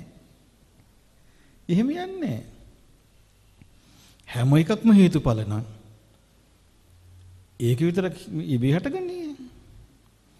ඒක අම්ම කෙනෙක් හිටියා. මේ අම්මා කීකේ හිටියා මම නම් දෙවියන් අතර යන්නේ කීකේ. ඒ වගේම ඒ අම්මට හැකියාවකුත් තිබුණා.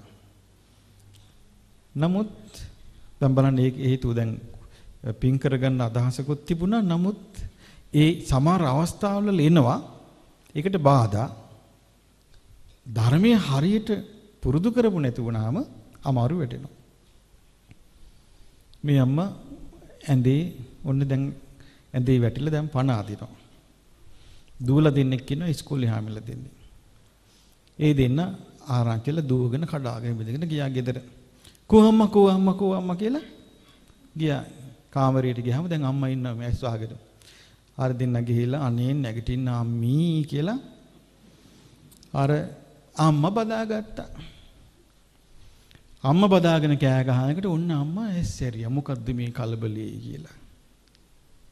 දැන් අම්මා ලස්සන්ට හිටිය හිත හදාගෙන.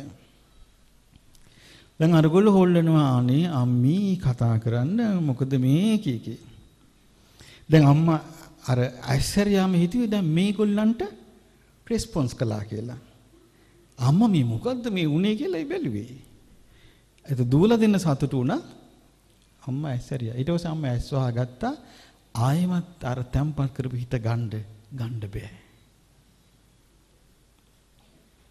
ඔන්න ආවා හතුරා. ඇතුලේ ඉන්න හතුරා. කවුද? ක්‍රෝධය. ක්‍රෝධය ආවා. මම ලස්සන්ට මේ හිත අදාගෙන හිටියා. මේ උන් දෙන්න කෑවා. ලස්සන්ට හිත හදාගෙන හිටියා මං. අවාසනාව. මනුස්ස ලෝකයේ ආයුෂ ඉවරයි. මරුණා. ඇඳ යට උපන්න යකින්නි වෙලා. උන දාන දුන්න හත් දවසේ තුන් මාසේ දාන දුන්නා. ඔන්න එක දුවක් ඔළුව හොල්ලනවා දැන් වරන් ඇවිල්ලා. ඒක ද ඔළුව හොල්ලනවා දැන් කියනවා බුලාට මහා වස්තුවක් දෙන්න මං ආවේ. මේ උඹලාගේ අම්මා. මහා වස්තුවක් දෙන්න ආවේ මං මං කියන හැටියට වැඩ කරහන් කිව්වා. මොකද්ද කරන්න ඕනේ කියලා ඔය ගේ ඉදම විකුණපන් කිව්වා. විකුණලා අසවල් අසවල් දීවාල වල ගිහිල්ලා හොඳට පූජාවල් තියාපන් කිව්වා. දැන් වික්කා. විකුණලා ඒක කරගෙන යද්දි ඊළඟ දුව ඔළුව හොල්ලනවා. ඔළුව හොල්ලනකොට එතන කියනවා මම මහා වස්තුවක් දෙන්නේ නැහැ උඹලා කාටවත් කියන්න එපා. මම මහා බල සම්පන්න දේවාත්මික ඉන්නේ. ඒ නිසා මෙහෙම කරන. ඉතින් මේගොල්ලෝ විශ්වාස කළා දැන් අම්මා මේ වගේ පින් කර කර හිටපු නිසා. මොකද කරන්න ඕන කියලා ඇහුවා. ගේ ඊටම විකුණපන් කිව්වා. වික්කා. හිඟමනට වැටෙනවා දැන් පව් දෙකම. හිඟමනට වැටෙනකොට ආය ඇවිස්සුණා දෙන්නට. එක්කෙනෙකුට එනවා ඊළඟ අනිත් එක්කෙනාට යනවා. ඇද්ද උඹලට? ඔන්න දැන් යකින්නේ ආවා. ඇද්ද උඹලට? මම දෙවියන් අතරට යන්න හැදුවේ. ඒක මට නැති කළා. දැන් හිඟා කාපිය. කියලා යකින්න ගියා. මේ ඇත්ත සිද්ධි. කතන්දර නෙමෙයි. බලන්න මේ හිතකට වෙන දේ ධර්මයෙන් නොවැඩු ධර්මයේ ගැන කල්පනා නොකළ ගුණයක ස්වභාවයේ තේරු නොගත් බාහිර ආටෝපේට විතරක් ධර්මයේ ඇල්ලූ අයගේ ස්වභාවය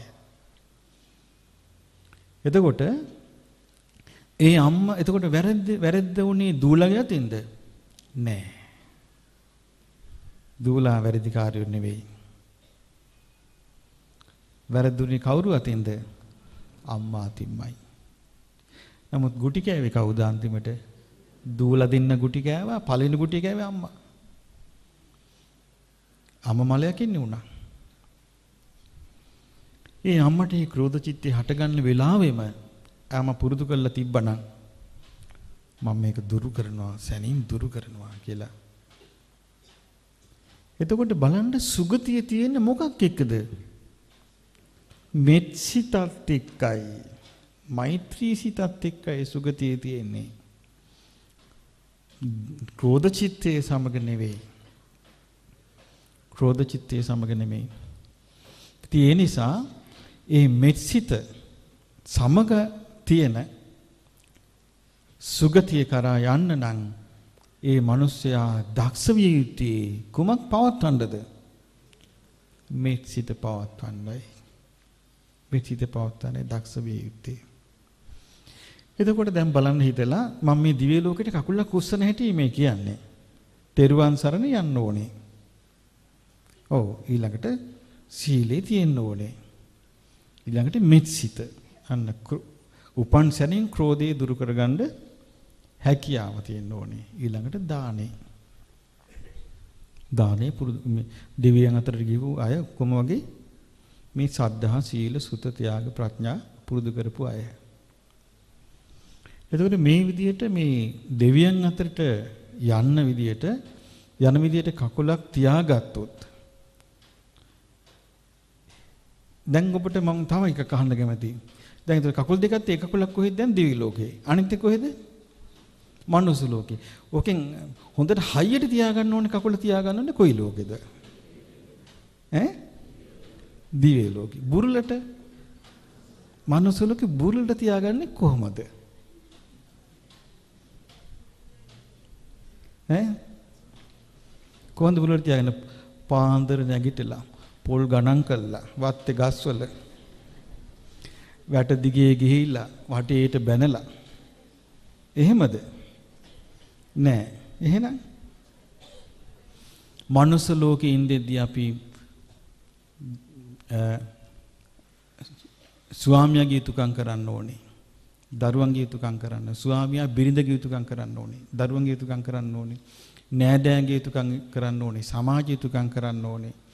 ගෙවල් දොරවල් හදන්න ඕනේ, වගාදිගා කටයුතු කරන්න ඕනේ. මේ සියලු කටයුතු කරන්නේ කුමක් පිණිසද? යුතුයකමක් පිණිස. යුතුයකම පිණිසයි. ඒ යුතුයකම පිණිස ඒ කටයුතු කරනකොට එයාට ඒක නොබැඳී කරන්න පුළුවන්. මේ යුතුයකම පිණිස කරගන්න නැතුව හිටියොත් එයාට නොබැඳී ඉන්න බෑ. බැඳෙනවාමයි. ඒක නොබැඳී ඉන්නේ නැතුව ඉන්නවනම් යුතුයකම අවබෝධකින් තොරව එයා අසනීපකකින් ඉන්න කෙනෙක්. ඒ කියන්නේ එච්චර මේ හිත වැඩ කරනවා. ඒකයි.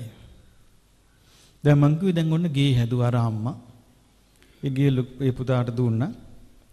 ඊට පස්සේ අම්මා හිතුවා ඒගොල්ලන්ගේ පාඩුවේ හිටියාවේ දැන්. ඒක ඒ වගේ අර ඒ විදිහට නිදහස්ව කල්පනා කරා නම් බේරෙන්න තිබ්බා. ඊළඟට යුතුයකම හැටියට ඒක කල්පනා නොකිරීම නිසා මොකද වුනේ?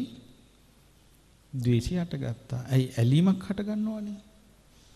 එතකොට පෘථිවියේ තියෙන දේවල් වලට ඇලෙන්නේ නැතුව පරිහරණය කිරීමේ හැකියාව ලැබෙනවා. කකුල බුරුලට තියාගත්තාම නැත්තම් ටික කලක් දිවි ලෝකේ තියලා ආයේ ඒ කකුල පොළොවට ගනි. වැඩක් නැහැ. එහෙ මෙහෙ තමයි හොඳ කියලා. එහෙම වෙනවා. දැන් ඒක අම්මා කෙනෙකුට වුණා. ඒ අම්මා නම් එහෙම පින් කරේ අම්මා කෙනෙක් නෙවෙයි. මහා පොල්වත්තන් නෙමෙයි මේ අක්කර දෙක තුනක මේ කනාටු වෙච්ච පොල්ගස් කීපයක් තිබුණේ. ඕකට මේ මහා ආසාවෙන් ඒ ලොකු පුතාට ඒක දීලා පුතයි නෝනයි රට ගියා. ජීවත් වෙන්න පිට රටක විදේශගත වුණා. ඉතින් විදේශගත වෙලා ඒගොල්ලෝ ලස්සනට ජීවත් වෙනවා. ඉතින් අම්මට සතුටු වෙන්න නම් මේ හරි වෙන රටක හිටියත් ළමයි ලස්සනට ඉන්නවනම් ජීවත් වෙලා දෙමාපියන්ට සතුටු වෙන්න පුළුවන් නේ. ඒ අම්මගේ අදහස තිබෙන්නේ එහෙම නෙවෙයි. මමයි මේ පොල් හිටෙව්වේ. මමයි මේ ගේ හැදුවේ. මේ මගේ පුතා මේ ගෙදරම ඉන්න ඕනේ. ගියා. ඊට පස්සේ වෛර බැඳගත්තා, ලේලිත් එක්කත් වෛර බැඳගත්තා, පුතාත් එක්කත් වෛර බැඳගත්තා. ඇයි මේ ගෙදර ආවේ නැහැ කියලා. අම්මා මලා දැන් ඒ ගෙදර ඇවිද ඇවිද ඉන්නවා. දැක්කද මේ මිනිසුන්ගේ විඥාණයට වෙන දේ? මේ තෙරුවන් සරණ ගියපු අයට මෙහෙම වෙනකොට ලැජ්ජාවට කාරණයක් නෙමෙයිද මේක? ඇයි තෙරුවන් සරණ ගිහින් නැහනේ? මේ විලා තියෙන මහා රැවටීමක් නේ. ඇයි හේතුව? එක එක මිත්‍යා දෘෂ්ටි අදහන්න පුරුදු වෙලා උවමනා කරන තිසරණේ හරියට ඉන්න හැකියාවක් නැහැ. තිසරණේ තියෙන්නේ කර්ම කර්මඵල විශ්වාසයත් එක්කයි. ඉතින්දල එයා හරියට තේරුම් ගන්නවා ඒවා. එහෙම කරගෙන නිකන් නිදහස් වාසය කළොත් දැන් බලන්න දැන් මේ වගේ සිද්ධියක් වුණොත් කෙනෙකුට කොහොම වෙයිද? බුද්ධ කාලේ ඉතින් බුද්ධ කාලේ ඉතින් ගොඩක් හැකියාව තියෙන අය නේ හිටියේ. මනසෙන් පුදුම හැකියාවන් තිබිච්ච අය හිටියේ. ඒ ගෙදරත් ඔය නැන්දා ලීලි ප්‍රශ්නයක් තමයි. ඒ ගෙදර කැවුම් වගේක් හදලා කැවුම් දීලා නැන්දට කැවුමක් පීරිසියක තියලා මේසුර තියලා තිබ්බා. එදා මහා මොග්ගල්ලාන මහරහතන් වහන්සේ වැඩියා. ලීලි කැවුම පූජා කළා මොග්ගල්ලාන මහරහතන් වහන්සේට. නැන්දා ආවා. ඇවිල්ලා කවුද මේ කැවුම ගත්තේ? ඉතින් කිව්වා මේ අනේ නැන්දි සන්තෝෂ වෙන්න මහා මොග්ගල්ලාන මහරහතන් වහන්සේට පූජා කළා. ආ. උඹ දෙතකොට මේ ගෙදර මහේකි කියලා ඇහුවා. අනේ මම පූජා කළා අනුමෝදන් වෙන්න කිව්වා. අල්ලගත්ත කොණ්ඩ වල්ලෙන් ගහගෙන ගහගෙන ගියා.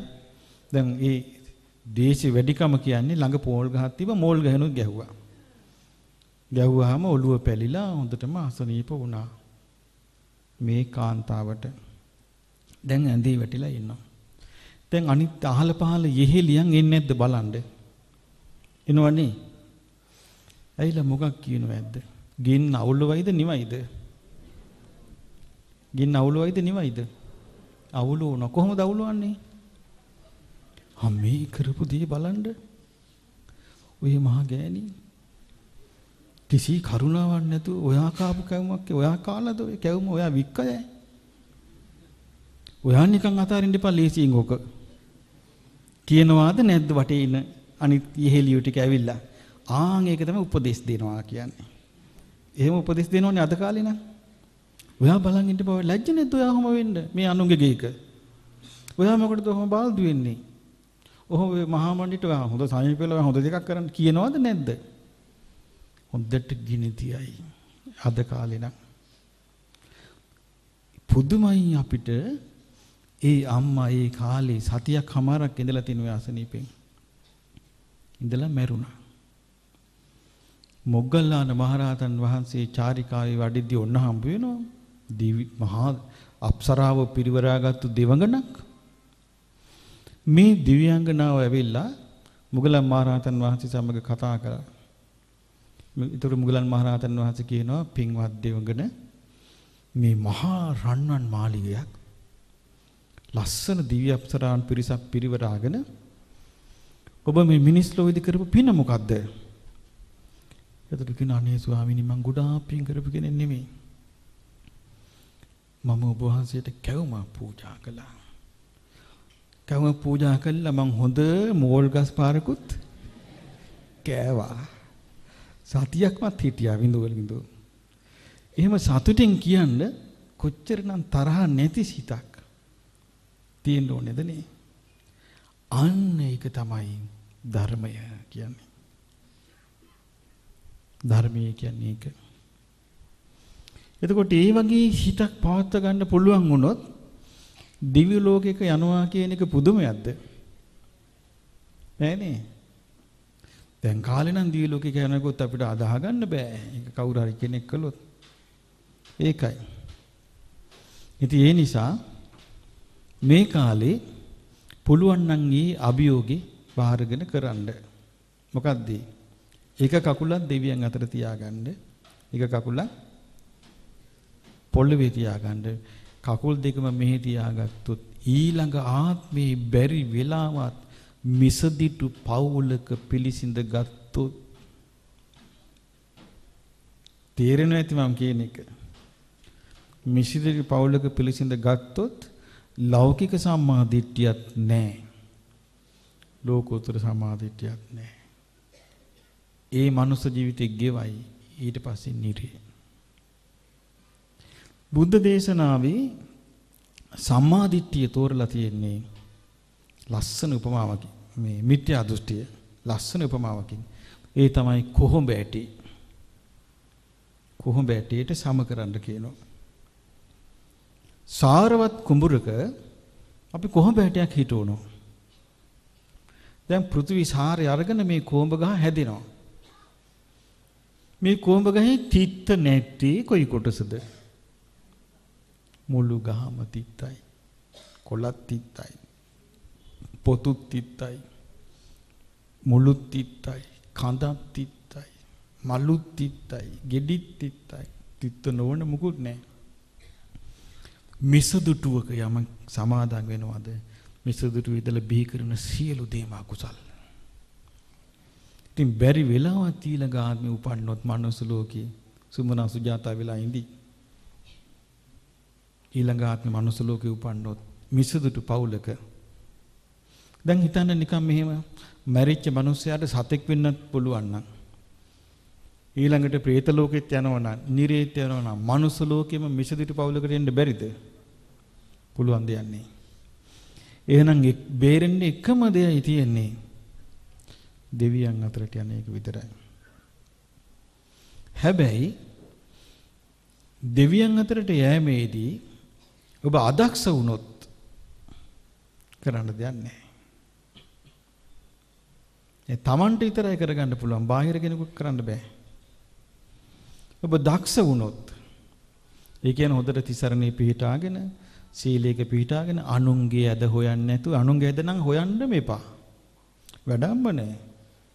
නිකමට හිතන්න බලන්න මේ මේ පසුගිය දවස්වල සිදුවෙච්ච දේවල් එක ප්‍රවෘත්ති බැලුවොත් නැති කොරෝද සිතේ හට ගන්නවද නැද්ද? ඈ ඊට වඩා හොඳ එක නොබල ඉන්න එක. තමන්ව තමන්ව බේරගන්න උපාශීලී වීම කළ යුතුයි. එතකොට අපි ගත්තොත් තෙරුවන් සරණේ හොඳට පිළිහිටලා සිල්වත්ව දන් පෙන් පූජා කරගෙන දන් දෙන්න ඕනේ කවුරු උදෙසාද? සංඝයා උදෙසා තෝර තෝර දෙන්න එපා. අපි මේ ස්වාමීන් වහන්සේලාට දෙනවා අපි මේ ස්වාමීන් වහන්සේලාට දෙනවා මේ ස්වාමීන් වහන්සේලාට දෙනවා කියලා තෝරන්න එපා. පොඩි නමකට දුන්නත් පූජා කරන්න ඕනේ කාට කියලා හිතලාද? සංඝයාට කියලා. මොකද එහෙම කියන්න හේතුව අපි කියමු මෙහෙම සංඝයා සීලවන්තයි. දන් දෙන උපාසක උපාසිකා දුස්සීලයි. එතකොට දානීය පිරිසිදු වෙන්නේ කොයි පැත්තෙන්ද? සංඝයාගේ පැත්තෙන්. අපි කියමු සංඝයා දුස්සීලයි. දන් දෙන උපාසක උපාසිකාව සීලවන්තයි. එතකොට දානීය පිරිසිදු වෙන්නේ කොයි පැත්තෙන්ද? උපාසක උපාසිකා පැත්තෙන්. දෙකම මහත්ඵලයේ මානිසංසයි. අපගේම සංඝයා දුස්සීලයි. උපාසක උපාසිකාව දුස්සීලයි. එතකොට අපිරිසිදුයි. එහෙමයි වෙන්නේ දානයේදී. එතකොට එහෙමනම් දානයේදී සංඝයාගේ සිල්වත් භාව විතරක් නෙමෙයි බලපාන්නේ. උපාසක උපාසිකාවන්ගේ සීලෙත් බලපානෝ දානයේදී. එහෙම සීලවන්ත කෙනෙක් සංඝයා උදෙසා දානය පූජා කරනවා. දානය පූජා කළා එහෙම කරද්දී ඒ විදිහට මෙසිත පවත්වමින් යද්දී සැක කරන්න එපා. එක දෙවි කෙනෙක් හරි ඇවිල්ලා උදව් කරයි. දෙවියන් අතරට යන්න උවමනා විදියට පරිසරයක් හැදෙනවාමයි. ඒක හැදෙන්නේ යාඥාවකින් නෙමෙයි ප්‍රාර්ථනාවකින් නෙමෙයි තමන් විසින් උත්සාහවත්ව ඇති කර ගන්නා වූ ගුණධර්ම වලින් ගුණධර්ම වලින් ඉතින් ගුණධර්ම ඇති කරගෙන ඉඳි පරිස්සම් වෙන්න ඕනේ. ඒ කියන්නේ මේ තමන්ගේ චිත්ත ප්‍රසාදයට හානි වෙන දේවල් මේ ධර්මයේ කෙරෙහි සැකේ ඇති වෙන දේවල් ඒවට කතාවල් වලට ඒවට කන් දෙන්න හූමිටි තියන්න යන්න එපා. ඊට පස්සේ ඊවෙන් තමන්ට පසුතැවිලි ඇති කරනවා. පසිතැලි ඇති කරාම චිත්ත ප්‍රසාදේ පවත්වන්න බෑ. ඉතින් සතුට නැතු යනවනේ. අනේ මගෙන් වරදක් වුණාද මම මෙහෙම කළා මම මෙහෙමත් කළා මම මෙහෙමත් කළා කියලා ඌරුට එනවා.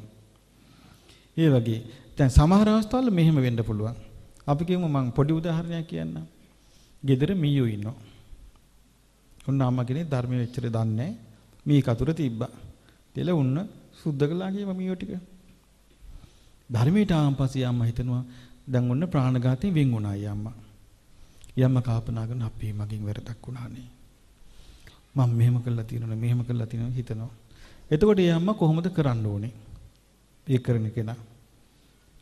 දැන් මම එහෙම කියන්න හේතුව දැන් මෙතනට ආපු සියලු දෙනා මේ ජීවිතේට වරදක් කරපු නැති අයද? ඈ? වරදක් දැකලවන්නේ නැද්ද? ඈ? කාගේ කාගේත් කිල්ලෝට වල හුණු ඇති. එහෙනම් මොකද්ද කරන්න ඕනේ? දැන් අපි ඉන්නකොට නෙමෙයි වැඩිපුරව මතක් වෙන්නේ. අපි තනි වෙච්ච වෙලාවට. පිරිසත් එක්ක hina වෙවි කතා කරගෙන ඉන්න වෙලාවට වැඩි මතක් වෙන්නේ නැහැ කුසල් අකුසල් ගැන මෙනෙහි කරන්න ගියපු වෙලාවට ආ මම මෙහෙම කළා මම මෙහෙම කළා කියලා මතක් වෙන්න පුළුවන් පුංචි දේවල් උනත්. එතකොට සිහිය උපදව ගන්න ඕනේ. මොකද්ද සිහිය? මට දැන් මෙහෙම සිතක් පහළ වෙනවා. මෙහෙම සිතක් පහළ වෙනවා. අන සතිපට්ඨානෙ සිහිය උපදව ගන්න ඕනේ. සිහිය උපදවගෙන කල්පනා කරන්න ඕනේ දැන් මම එදා කළා දයන් වැරද්දක්. ඒ වැරද්ද මම දැනුත් කරනවාද කියලා බලන්න ඕනේ. එතකොට එදා කරපු වැරද්ද තමන් දැන් කරන්නේ නැහැ. එහෙනම් එදා යම් වැරදක් කළාද ඒකෙන් මම මිදුණු කෙනෙක්. මං ඒ වැරද්ද අත්හල කෙනෙක්. ඒ වැරද්ද දුරු කළ කෙනෙක්. ඒ වැරද්දෙන් බැහැර වූ කෙනෙක්. හිතපු ගමන් සතුටක් එනවා අරක අමතක වෙනවා. ඒ විදිහට තමයි හිත පුහුණු කරන්න තියෙන්නේ. එහෙම පුහුණු නොකර ඒකට තැන නොදී ඒ වැරද්ද අරන් අනේ මගෙන් මෙහෙම වුණානේ. ඇයි අප්පා මම මෙච්චර මෝඩ? මම ඇයි මම මෙහෙම හිතන්නේ නැතුව මේවා කළේ? අර පසුතැව සමහරු ඉන්නවා පසුතැවෙන්න කරුණ හොයාගෙන උහි අර අඬ බෑදීගෙන ඉන්නවා. පසුතැවි තැවි. දියුණු වෙන්නේ දියුණුවට යන්න බෑ. දියුණුවට යන්න නම් අර තමන්ගෙන් වෙච්ච වැරද්ද මතක් වෙනකොටම කල්පනා කරන්නේ මම දැනුත් ඊ වැරද්ද කරනවාද? බලන්න දැන් ඊ වැරද්ද මිදිලා. එහෙනම් තමන් මිදිලා නම් යමකින් නැවත තමන්ගෙන් වෙන්නේ නැත්තම් ඒක අර වැරද්ද දැන් තියෙන එකක්ද අතීතයට ගිහිල්ලා නිරුද්ධ වෙච්ච එකක්ද? අතීතයට ගිහිල්ලා නිරුද්ධ වෙච්ච දේ අනිත්‍යයිනේ. එහෙනම් දැන් කරන්න තියෙන දැන් තියෙන කුසලේ පිහිටන එකනේ. ඒ විදිහට මොලේ පාවිච්චි කරන්න ඕනේ. එහෙම මොලේ පාවිච්චි කරන එකට අන්න ආයේ කුසලයේ හිත පිහිටනවා. අනේ බුදුරජාණන් වහන්සේගේ ධර්මයේ නිසානේ මම මෙහෙම ජීවිතය හදාගත්තේ. මට මෙහෙම පුළුවන් වුණේ කියලා ඔන්න ඊට පස්සේ ශ්‍රද්ධාව හට ගන්නවා. ඒ වගේ ඒ වගේ ඒ දේශනාවල තියෙන විදිහට එහෙම කරගෙන ගියාම ටික කලක් යනකොට Tamanට අර වැරදි මතක් වෙන ස්වභාවය නැති වෙලා යනවා. පොඩ පොඩ තිබිලා තිබිලා ඒක අහම්බෙන් මතක් වුණත් ඒක ලොකුවට ගන්න නැතුව Tamanට අයින් කරන්න පුළුවන්. එහෙම වුණාම Tamanට අර කුසල් පැත්ත වැඩිපුර හිතන්න පුළුවන්. අන්න එතකොට ශ්‍රද්ධා, සීල, සුත ආදී ගුණ තියෙනකොට Taman තුල Taman මෙහින් මරණාසන්න වෙද්දී දෙවියන් අතරට Taman යනවා. නිකන් නෙමෙයි දෙවියන් අතරට ගියාම එතන කොහෙද ඉන්නේ? ඒ කවුද ඉන්නේ? බුදුරජාණන් වහන්සේගේ කාලේ ඊට පස්සේ කාලේ මනුස්ස ලෝකේ ගුණධර්ම වඩපු ධර්මයේ පුරුදු කරපු අය ගිහිල්ලා ඉන්නේ.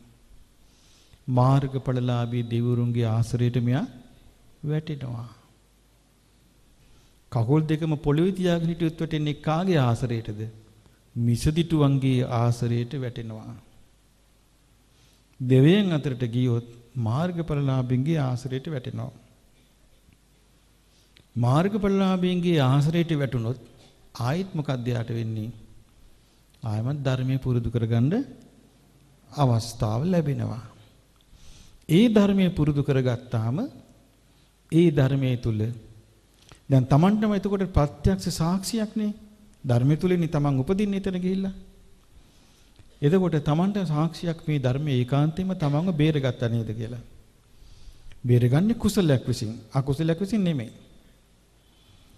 එතකොට එයාට මේ කුසල්ම දිනු කිරීමේ ආසාව ඇති වෙනවා. එහෙ ඉඳලා බලන්න පෘථුවිය දිහා. හොඳට පෙනේ පෘථුවියේ தත්ත්වය. හොඳට පෙනේ මිසදිටුව විසින් කළු දුමාරයක් වගේ සම්පූර්ණ වහගෙන ඉන්න හැටි පෘථුවිය. සුළු කලකින් සම්පූර්ණම වැහිලා යන හැටි හොඳට පෙනේ. ගිහිල්ලා බලන්න. එතකොට කල්පනා වේ අනේ මාව බේරුවේ බුදුරජාණන් වහන්සේගේ ධර්මයයි. ආන්න එහෙම තේරෙයි. එතකොට ඒක Taman තමයි ගොඩනගා ගන්න තියෙන්නේ. වෙන බාහිර කෙනෙක් නෑ ගොඩනගා ගන්න. තමන් විසින් බේර තමන්ව බේර ගන්න ඕනේ. බුද්ධ දේශනාවේ නැද්ද තමන් තමන්ව පිළිසරණ කරගන්න කියලා? තියෙනවනේ. තමන් තමන්ව පිළිසරණ කර ගැනීම අපි කළ යුතුයි. මොකද ඒ කාලේ ශ්‍රාවකයෝ මේ ධර්මය අවබෝධ කළෙත් තමන් තමාව පිළිසරණ කරගෙනයි. මේ කාලේ අවබෝධ කරගන්නෙත් තමන් තමාව පිළිසරණ කරගෙනයි. අනාගතය අවබෝධ කරගන්නෙත් තමන් තමාව පිළිසරණ කරගෙනයි. මේක බාහිර ඕපේට එහෙම කරන්න බෑ. මොකද කවුරු තමා ගැන නොදන්න හිටියත් තමා ගැන හොඳින්ම දන්නේ තමා. ඉතින් ඒ නිසා තමන් තමන් හොඳින්ම දන්නවනම් තමන් බේර ගන්න පුළුවන් කාටද? තමාට විතරයි. බාහිර කිසි කෙනෙකුට තමාව බේර ගන්න බෑ. ඉතින් ඒ නිසා අර බුදුරජාණන් වහන්සේගේ ධර්මයේ තියෙන වටිනාකම ඒකයි. මෙච්චර නිදහස්, මෙච්චර නිවහල්, මෙච්චර ස්වාධීන, මෙච්චර ස්වෛරී ධර්මයක්.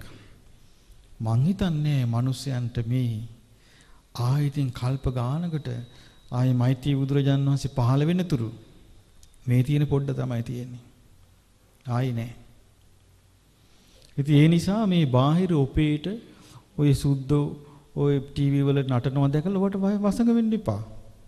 අනේ ඉංග්‍රීසි දන්නවනම් අපිටත් මේ වගේ සුදු හවන්ක් එක්ක අපිත් ගිහිල්ලා එහෙ ඉපදිලා අපිටත් නැත්නම් ඔහම නටන්න අර මූන් වෝක් යන්න හිතුවොත් එහෙම ඊට පස්සේ ගිහිල්ලා මේ පින් කරන එක යන්නේ නැද්ද? එහෙ ගිහිල්ලා උපදිනව නැද්ද? උපදිනවා. ඉපදුනට පස්සේ මොකද තියෙන්නේ? මිසදිටුවයි කාමයයි. මිසදිටුවේ කාමයේ ආපු ගමන් මොකද වෙන්නේ? ඕනතරම් කාමයට නිදහසදී. ඕනතරම් කාමයට නිදහස දෙනවා. ඒකත් එක්ක සම්පූර්ණයාගේ ಗುಣ නැති වෙලා නීච වෙලා නීච වෙලා නීච වෙලා නිරේට යනවා. නිරේට යනවා. ඊට පස්සේ ආයි උපදිනකට කොහේ උපදීද දන්නේ නැහැ. ඒ නිසා බටහිර රටක උපන්නත් කිසි ලාභයක් නැහැ. වෙන කොහෙවත් තිබුණාට ලාභයක් නැහැ. ඉන්දියාවේ පැත්තත් බලන්න හොඳ නැහැ. ඉවරයි ඒක. ආයෙතින් මිටි බුදු බුදුරජාන් වහන්සේ මෛත්‍රී බුද්ධ කාලේ තමයි ඉපදිනවා නම් ඕන්නම්. නැත්තම් ඉතින් සාමාන්‍යයෙන් වර්තමානයේ ගත්තොත් එහෙම දැන් අපි කියනවනේ මේ දේශනා අපි දැන් ওই ප්‍රාර්ථනා එහෙම කරනවා මේ ගෞතම බුද්ධ ශාසනේ චතුරාර්ය සත්‍ය අවබෝධ කරගන්න ලැබේවා කියලා. ඔබ හොඳට කරුණු සලකලා බලන්න ඒක පුළුවන්ද කියලා. පුළුවන්කම තියෙන්නේ ගෞතම බුද්ධ ශාසනය විතරයි. දැනට හැබැයි මනුස්ස ලෝකේ බොහොම පොඩි අවස්ථාව. අපිට යන්තම් මේකෙන් මේ බේරෙන්න හදා ගන්න ඕනේ දිව්‍ය ලෝකයකට ය아가න්න. දිව්‍ය ලෝකයකට ගිය ගමන් සම්පූර්ණයෙන්ම ගෞතම සාසනයේ විවෘතයි.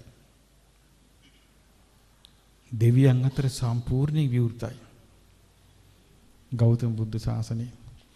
දැන් මෙතනින් යන්න ඕනේ හොඳට හදාගෙන. සම්පූර්ණයෙන් විවෘතයි. එතනදී දෙවියෝ එනේන අයට සහාය දක්වනවා මේ මාර්ගය යන්න. එතකොට ඒ දෙන ඒ මාර්ග සමහරට මෙහෙන් ශ්‍රද්ධාව විතරක් ඇතුව මාර්ගඵල නොලබ මේ හිටපු එක්කන දෙවියන් අතරට ගියාට පස්සේ ඒ දියා සෝවාන් වෙයි. සමහරට සකදාගාමි වෙයි. අනාගාමි වෙලා සමහරට ඒ ආයෙන් චුත වෙලා අනාගාමි බ්‍රහ්ම ලෝකයකට යයි. සුද්ධා වාසකට. එහෙම පිරිනවම් පායි. ඒකයි අපි මේ කියන්නේ ගෞතම බුද්ධ ශාසනය මේක පුළුවන් කියලා. හැබැයි වෙන වෙන බුද්ධ ශාසනයක් පේන්න තෙක් මානක නැහැ. දැන් මෛත්‍රී බුද්ධ ශාසනයේ තියෙන්නේ දැන් මේ ආයුෂ අඩු වෙලා අඩු වෙලා මේ ආයුෂ අඩු වෙලා අඩු වෙලා අඩු වෙලා ආයුෂ කීයටද බහින්නේ? අවුරුදු 10ට බහින ආයස විතරක්ද අඩු වෙන්නේ. ඇයි ಗುಣධර්ම? ಗುಣධර්ම අඩු වෙනකොට අඩු වෙනකොට මැරෙන්නේ මැරෙන්නේ උපදින්නේ කොහේද? නිරේනේ. නිරේ උපන්නට පස්සේ නිරේ ආයුෂ නිරේ ගිහිල්ලා මනුස්ස ලෝකෙට එනකොට මෛත්‍රී බුද්ධ ශාසනයත් ඉවර වෙලා තියෙයි. ඒකයි වෙලා තියෙන්නේ. එතකොට මොකද කරන්නේ? එහෙම වෙන්නේ දැන් අර പ്രേත වස්තුවේ සහස්ස වත්තු ප්‍රකරණය මං හිතන්නේ සහස්ස වත්තුවේ තියෙන්නේ. ඒකේ තියෙනවා මේ ඒක අපේ ලංකාවෙන් ස්වාමීන් වහන්සේලා වඩිනවා ඉන්දියාවේ. දඹදිව. මෙහෙන් ගිහිල්ලා ඔය මේ දකුණු ඉන්දියාවට ගොඩ වෙලා ඒ හින්දලා පහින් වඩිනවා මේ බුද්ධ ගයාවට යන්න. වඩින එකට කැලේක පාර වැරදිලා කැලේකට වැටෙනවා. ඒකට වැටෙනකොට ඒකේ ගොවියෙක් පේනවා. දිවා රාත්‍රී නගුලක් අරගෙන මේ හානවා කුඹුරක් හානවා. දිවා රාත්‍රී හානවා. non stop දිවා රාත්‍රී හානවා. ඉතින් හාමුදුරු බිලු යකුඩ මේ මිනිසික්කේ මේ මහන්නේ කොහමද? අඬ ගහලා අහනවා පින්වත. ඔබ කවුද? කොහොමද මේ විදියට වෙහෙසක් නැතුව හාන්නේ. අනේ ස්වාමීනි මට හරි වෙහෙසයි. මේ හාන එක මට නවත්ත ගන්න බෑ කිව්වා. ඇයි කියලා ඇහුවා. ඔබ වහන්සේලා මේ කවුද කියලා? අපි මේ ගෞතම බුදුරජුන්ගේ ශ්‍රාවකයෝ.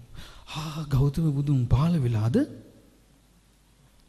ගෞතම බුදුන් පහළ වෙලා. ඒ කියන්නේ ගව් හතරක් පොළොව වැඩිලාද? ගව් හතරක් පොළොව වැඩිලා. අනේ එහෙනම් මට ඊට පස්සේ නිරේනෝ යන්න තියෙන්නේ. ඊට පස්සේ අහනවා හාමුදුරුවරු මොකද්ද මේ ඔබ මේ ඔබට වෙච්ච දේ අනේ ස්වාමිනී මේ පෙරේත ආත්මයක් කිව්වා. මගේ අතින් වැරද්දක් වුණා. කාශ්‍යප බුදුරජාණන් වහන්සේගේ කාලේ මං හිටියේ මනුස්ස ලෝකේ. එදා මම කුඹුරට යන්න නගුලත් අරගෙන යනවා. ඊළඟට මගේ යාළුවෙක් කිව්වා කාශ්‍යප බුදුරජාණන් වහන්සේට දානයක් දෙනවා උන්වහන්සේ අද වඩිනවා අපේ ගෙදරට. ඕක පොඩ්ඩකට නවත්තලා වරින්. ඇවිල්ලා දාන ටිකක් පූජා කරන්න වරින් කිව්වා. එහෙනම් කාශ්‍යප බුදුරජාණන් වහන්සේට ගියාපම් මගේ කුඹුර හාලා දෙන්න කියලා. මට ඊට වඩා මේක ලොකේ කියලා නගුලක් තරම් ගියා. ගියා තාම හානවා. බලන්න. ගල්ල ගැහුවේ කොයි නරක තැනටනේ. දැන් බලන්න මේ ධර්මයේ නැතුව ඉන්න මිනිස්සයාගේ කලබල වචන ධර්මයේ නැතුව නොසිතා දෙවරක් කටින් කියවෙන වචන මොන තරම් බිහිසුණු ඉරණමක් හදලා දෙනවද කිව්වනේ ස්වාමීනි මට තව සුළු කාලෙකින් මන් නිරේ යන්න තියෙන කිව්වා. දැන් බලන්න ගෞතම බුද්ධ ශාසනයත් පහළ වෙලා. තාමත් යා කුඹුර හානවා ඊට පස්සේ ආයතන චුත වෙලා කොහෙද යන්නේ? නිරි. දැන් උදේ බුදුරජාණන් වහන්සේ වැඩ හිටපු තැන හිටිය මිනිහෙක්. එතකොට අපි ප්‍රාර්ථනා කළොත් තනි බුදු කෙනෙක් තැන අපිට උපදින ලැබෙවා කියලා වැඩක් නැහැ. අපිට උපදින ලැබෙනවා නම් ප්‍රාර්ථනා කරන්න ඕනේ මොලේ ඇති උපදීවා කියලා. ඒ මොකද මේ මිනිහයට තිබුණේ නැත්තේ මොකද්ද? නුවණ. නුවණ තිබුණේ නැත්තේ. එතකොට බලන්න මේ වගේ නම් සංසාරේන රටාව අපේ ප්‍රාර්ථනාවල් බොළඳ වුණොත් ඒ බොළඳ ප්‍රාර්ථනාවකට පුළුවන්ද අපිට හැබැයි රැකවරණයක් දෙන්න? බෑනේ. ඉස්දයක් කරන්න බෑ. ඉතින් ඒකයි එහෙම වෙනත් පුළුවන්කමක් තියෙනවා නම් අපිත් දන්නවනම් අපි කියනවා මෙහෙමත් පුළුවනි මෙහෙමත් පුළුවනි කියලා. බෑ. ඉතින් මේ කරුණෝසිය අපි තේරුම් ගන්න ඕනේ අපට බොහෝම සුළු අවස්ථාවක් තියෙන්නේ. කාගේවත් පිහිටකින්, තව කෙනෙකුගේ පිනකින්, තව කෙනෙකුගේ කුසලයකින් අපි සුගතිය යන්නේ තව කෙනෙකුගේ දෙයකින් යන්නේ එහෙම වෙනවා නම් අහඹු ලෙස නැත්තම් විශේෂ ලෙස. විශේෂ ලෙස උනේ මහාමාය දේවීන් වහන්සේට. ඇයි? උන්වහන්සේගේ කුසේ මහාමාය දේවනාථගේ කුසේ බෝසතාණන් වහන්සේ උපන්න නිසා බුදුබව පතනාත්මි මහාමාය දේවනාථේ තුසිතට ගියා. ඔච්චරයි. අනිත් ඇට උනේ මොකවත් එහෙම. ඒ නිසා එහෙම නැත්තම් තමන්ගේම පිනෙන් තමයි මේ හැමදේම තියෙන්නේ. ඒ නිසා අර පින් කර ගන්නවා කියන එක ලේසි එකක් නෙමෙයි. සමහරු කියනවානේ පින් කරන්න ඕනේ අපි කුසල් කරනවා. අහලා නැද්ද එහෙම කියන අය? කරයි ඒගොල්ලෝ. ඒක මේ වගේ එකක්. ගයක් හදනවා අපි. ගේ හදන්න ඉස්සෙල්ලා මොකද්ද අපි කරන්නේ? අත්තිවාරමක් දානවා. ඒ අත්තිවාරම මත තමයි තීරණය කරන්නේ ගේ හදන්න තට්ටු කීයක් ගහනවද? ඒ තට්ටු ගාන, ගේ සවිමත් බව, පැවැත්ම තීරණය කරන්නේ බිත්ති මේ කණු ඔස්සේ විතරක් නෙමෙයි. අත්වාරමත් එක්ක ඉස්සලා බලන්නේ. අත්වාරම තමයි පින. අත්වාරම නැතුව ගෙවල් හදනවා නම් ලෝකේ ඒක න්‍යාය විරෝධී එකක්. ඒක වෙන්න බෑ. ඒ නිසා කුසලයක් උපදවන්න නම් උපදවන්න තියෙන්නේ පින හරහා තමයි.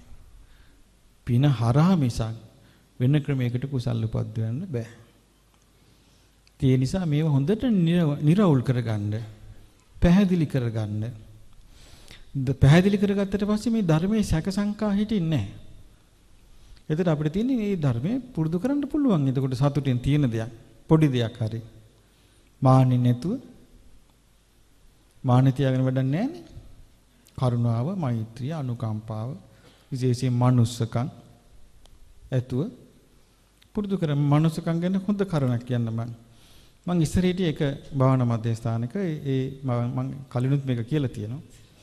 පොඩි පොඩි නෑ සාමාන්‍ය තරුණ වයසේ ගෑනු ළමයි දෙන්නෙක් අර ඒගොල්ලෝ අර හිර වෙන්න අඳින්නේ කලිසම් ජීන්ස් දෙකක් ඇඳගෙන පොයේ දවසේ ඇවිල්ලා දැන් ආචිලාට හරි වේදනාව. ආචිලා දෙන්නෙක් මට වෙලගෙන බලන්න ස්වාමින් වහන්සේ. මේ එන හැටි මේ මේ කෙල්ලු. අංකු නෑ ඉතින් අම්මා ඉතින් ආපේ කමක් නෑ ඉතින් ආපු ආවේ. දැන් බලන්න මේ වගේ තැනකට ගැළපෙන ඇඳුමක් ඇඳගෙන එන්න එපායයි. බයිනෝ. බැලලා ඉතින් දැන් ඒගොල්ලෝ අර රව රව ඉන්නෝ දැන් ආචිලා ටික.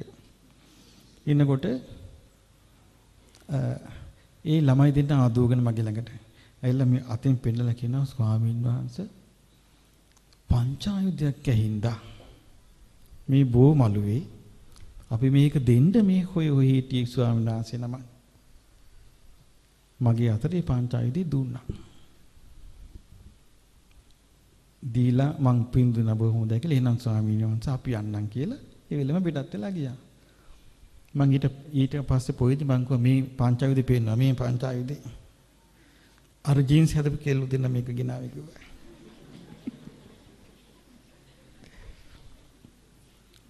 දැන් අර සුදු ඇදගෙන මෙහෙම හිටපු ආච්චිලා. ඒතර බලන්න මොකන්ද මේ හෙව්වේ? වස්ත්‍රයෙන් කොහොමද මිනිස්සෙක් ගුණේ මනින්නේ? එහෙනම් ඉතින් ප්‍රශ්න ඉවරනේ අපි ඔක්කොම ප්‍රශ්න chapters close. ඒ වස්ත්‍රය දාගත්ත ගමන් හරි සුද්ධයිනේ ඉතින්. දැන් ඉතින් මම වස්ත්‍රය දාගන්න හරි සුද්ධයි දැන් ඕන එකක් කර හැකි. එහෙමද? ඔබ සුන්දරතව ගමන් සුද්ධද? නෑ නේ. වස්ත්‍රයකින් කිසිම වෙනසක් කරන්නේ නැහැ පුද්ගලෙක්ව.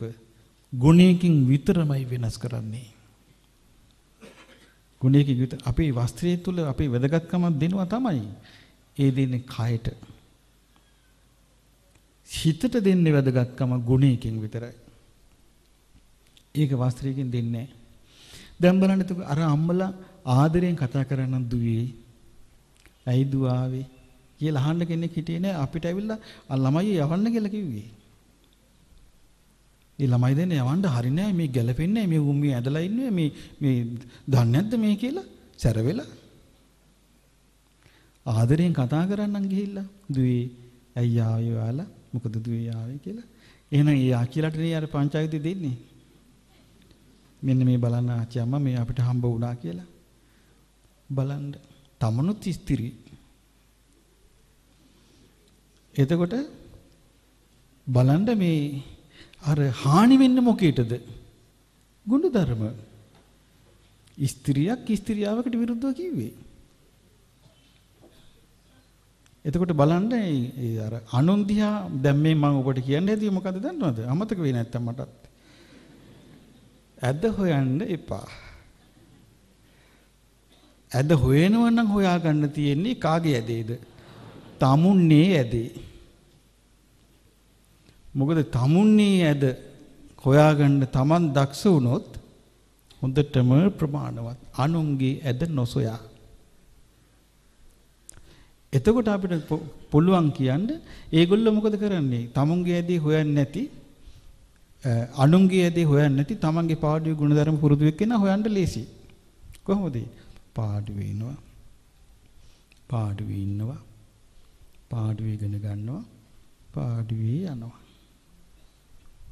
හොයන්න ලේසි. තමන්ගේ අනුගිය දේ හොයන එකේනා කණ්ඩායමක් හදා ගන්නවා. ඔයකේ පොඩ්ඩක් ප්‍රධානත්වය හදා ගන්නවා. ඊට පස්සේ කියෝනවා. හරි ලේසි හොයාගන්න. ආම් බලපන් අන්න අන්න කියන කණ්ඩායම මෙහෙම බලවායි. ඔතන හරි දැන් අතන බලපන් මෙහෙම බලනවා. ඊට පස්සේ ඉතුරු වෙන්නේ මොනවද? ඔය හොයාපු කුණ ගොඩවල් ටික තමයි. මොකුත් හොයන්න එපා. තමන්ගේ ජීවිතයේ එතකොට දියුණු වෙලා යයි පින්වත්නි. ටික ටික දියුණු වෙලා යයි. මේ ජීවිතය ගැන විශ්වාස තියාගන්න. මනුස්ස ජීවිතය ගැන මේ මනුස්ස ජීවිතය අපි උපන්නේ පින්බලයකින්. විශ්වාසය තියාගන්න මම පින්නකින් උපන්න මම කුසලයකින් උපන්න මම මේකෙන් තව පින් උපද්දවනවා. මේක සාරවත් කුඹුරක්. මනුස්ස ජීවිතය කියන්නේ. සාරවත් කුඹුරක්. මේක හොඳට පින් මේ උපද්දවා ගන්න පුළුවන් එකක්. ඉඩ ලැබෙන තැන දාන දෙන්න, උදව් කරන්න, කරුණාවන්ත වෙන්න, දයාවන්ත වෙන්න. අනුන්ගේ දුක දැකලා අඬන්න. මට මේ ළඟදී හොඳටම ඇඬුණා. අවුරුදු 16ක ගෑන් ළමෙක් නයිජීරියාවේ. කළේ වැරද්ද මොකද්ද? ක්‍රිස්තියානි කොල්ලෙකුට ලියුමක් දීලා.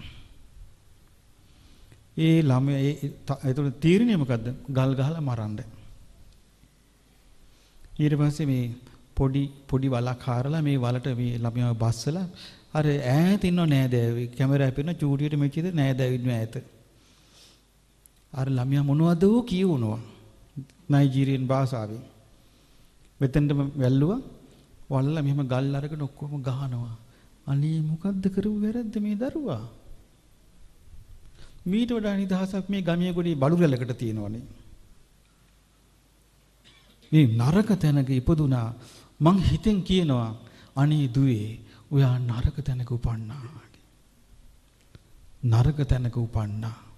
මිසදිටුවක උපන්නා. දැන් විදුවනවා. එතනින් ඒ ළමයාගේ ජීවිතේ ඉවරද ප්‍රශ්නේ? පොඩි වෙලාවකදී ඊට පස්සේ ඔළුව නැහැ. ගල් ගහලා ගහලා ගහලා මට හොඳටම ඇඬුණා. නන් නයිජීරියාවේ. ඒතර මිනිස්සු නෙමෙයිද? එතකොට මිනිස්යන් කෙරේ ආදරය මිනිසියෙකුට තියෙනවා නම් එයා ඒ ආදරේ බෙදන්නේ නැහැ. ඒ ආදරේ පොදු එකක්. මිනිස්කම කියන්නේ දයාව කියන එක පොදු එකක්. ඒක තෝරලා බේරන්නේ දයාව කරුණාව මෙයාට මෙසිත මෙයාට නෑ. මෙයාට කරුණාව මෙයාට එහෙම තෝරන්න බෑ ඒක. ඒක වැස්ස වගේ එකක්. හුළඟ වගේ එකක්. දයා කරුණාව කියන එක. ගහක් වගේ එකක්. ඒ ගහයට දෙන ඔක්කොටම සේවන හම්බ වෙනවා. බෙදන්නේ ඒක. අන් ඒ විදිහට හදන්න හදාගන්න ජීවිතේ අනුන්ගේ දුක දෙක අඬන්න. ඔය හිත ගලක් කරගන්න එපා. ඊට පස්සේ හිතන්න අනේ මේ වගේ සසරින් අපි ඉතිර වෙන්න ඕනේ කියලා හිතන්න. මම නම් ඒක දැකලා කල්පනා කළේ අනේ මේ වගේ බිහිසුණු සසරකද අපිට නැවත නැවත ඉපදිපද යන්න වෙන්නේ කියලා ඒ විදිහට නුවණින් කල්පනා කළේ නැත්තම් බේර ගන්න නම් කොන පොටක් හම්බ වෙන්නේ නැහැ. ඒ නිසා හොඳට ගුණ ධර්ම පැත්ත දියුණු කරගන්න. දහම් දැනම ඕනේ. දහම් දැනුමේ වටිනාකම තියෙන්නේ දහම් දැනුමත් එක්ක Taman තුල ගුණධර්ම තිබ්බොත් විතරයි. ඒ ගුණධර්මක් නැත්තම් ඒක Tamanට නිකන් තියෙන මේ මේ ඒක නිකන් ආභරණයක් වගේ එකක්. වැඩක් නෑ ඒක. ඒක නිකන් වාණිජ භාණ්ඩයක්. ගුණධර්මත් එක්ක තියෙන්න ඕනේ. දහම් දැනුම. තියෙන නිසා ගුණධර්මත් එක්ක දහම් දැනුම දිනු කරගන්න දිනු කරගෙන අර කියපු ආකාරයට එක කකුලක් මෙහි තියාගෙන අනිත් කකුල දෙවියන් අතර තියාගන්න. ඒ කාලේ රජ කාලේ එහෙම තමයි හිටියේ.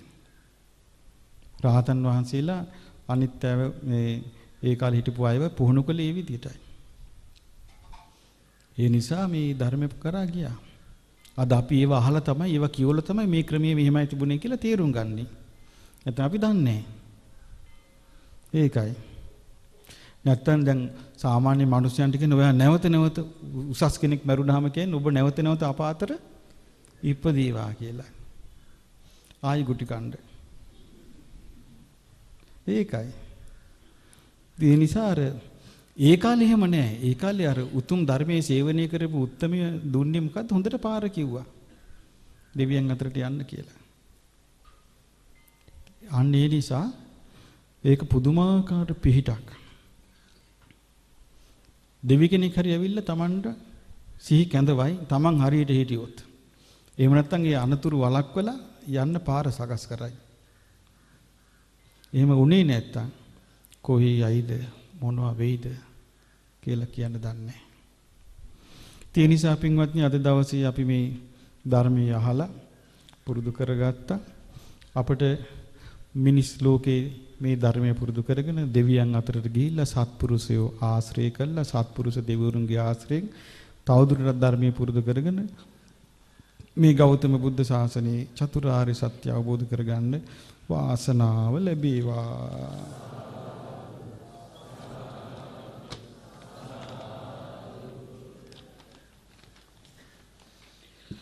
අද නවම්පුන් පොහොදා ශ්‍රද්ධා නාලිකාවේ විකාශන කටයුතු සඳහා දායකත්ව දරන්නේ වට්ටාරන්තැන්න අංක 2 රඹුක්කන පාර ඉඹුල්ගස් දෙනියේ පුරාණ හෙළ වෙදගෙදර පදිංචි එච්.ආර්. ධම්මික පීරිස් ප්‍රේමරත්න වෙද මහත්මයා විසින් එතුමාටත් ඒ පවුලේ සියලු දෙනාටත් චතුරාර්ය සත්‍ය අවබෝධය වේවා විශේෂයෙන්ම අප රැස් කළ මේ සියලුම පුණ්‍ය ධර්මයන් මීට වසරකට කලින් අභාවයටපත් වූ අපේ පියදාස මෑණියන්ට අනුමෝදන් වේවා. ඒ මෑණියෝ දෙවියන් අතර ඉන්නේ. තේ මෑණියන්ගේ දිව්‍ය ජීවිතය තුළ ශ්‍රද්ධා, සීල, සුත, ත්‍යාග, ප්‍රඥා දියුණු වේවා. එතුමියට උතුම් මාර්ගඵල අවබෝධයේ පිණිස මේ පින් හේතු වාසනා වේවා සාදු සාදු සාදු ඒ වගේම පීදාස මෑණියන්ගේ පවුලේ සියලු දෙනාටත් මේ ධර්ම ශ්‍රවණය කරන ඔබ සියලු දෙනාටත් උතුම් චතුරාර්ය සත්‍ය අවබෝධයේ පිණිස මේ පින හේතු වාසනා වේවා. තව තියෙන කොටසක්. නෙත්ති ප්‍රකරණ පොත් වහන්සේ එලි දැක්වීම. ඒ කරනු ලබන්නේ මහාමේඝ ප්‍රකාශකේ ආයතනයේ වෙනුවෙන් මහාමේඝ ආයතනයේ කළමනාකාර අධ්‍යක්ෂ ජේෂ්ඨ කතිකාචාර්ය ගුණපාල රත්නසේකර මැතිතුමාගේ අතින්. නමෝ බුද්ධාය. නිත්‍ය ප්‍රකරණ ග්‍රන්ථය භාග්‍යතුන් වහන්සේට පූජා වේවා. නමෝ බුද්ධාය.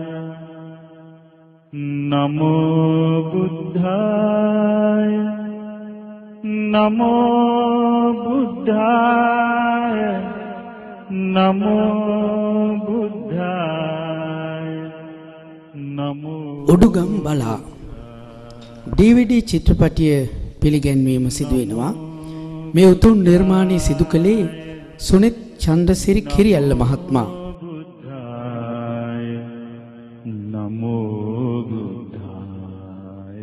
සිරි ඝටිකාර සෑරදුන් නමදිම්.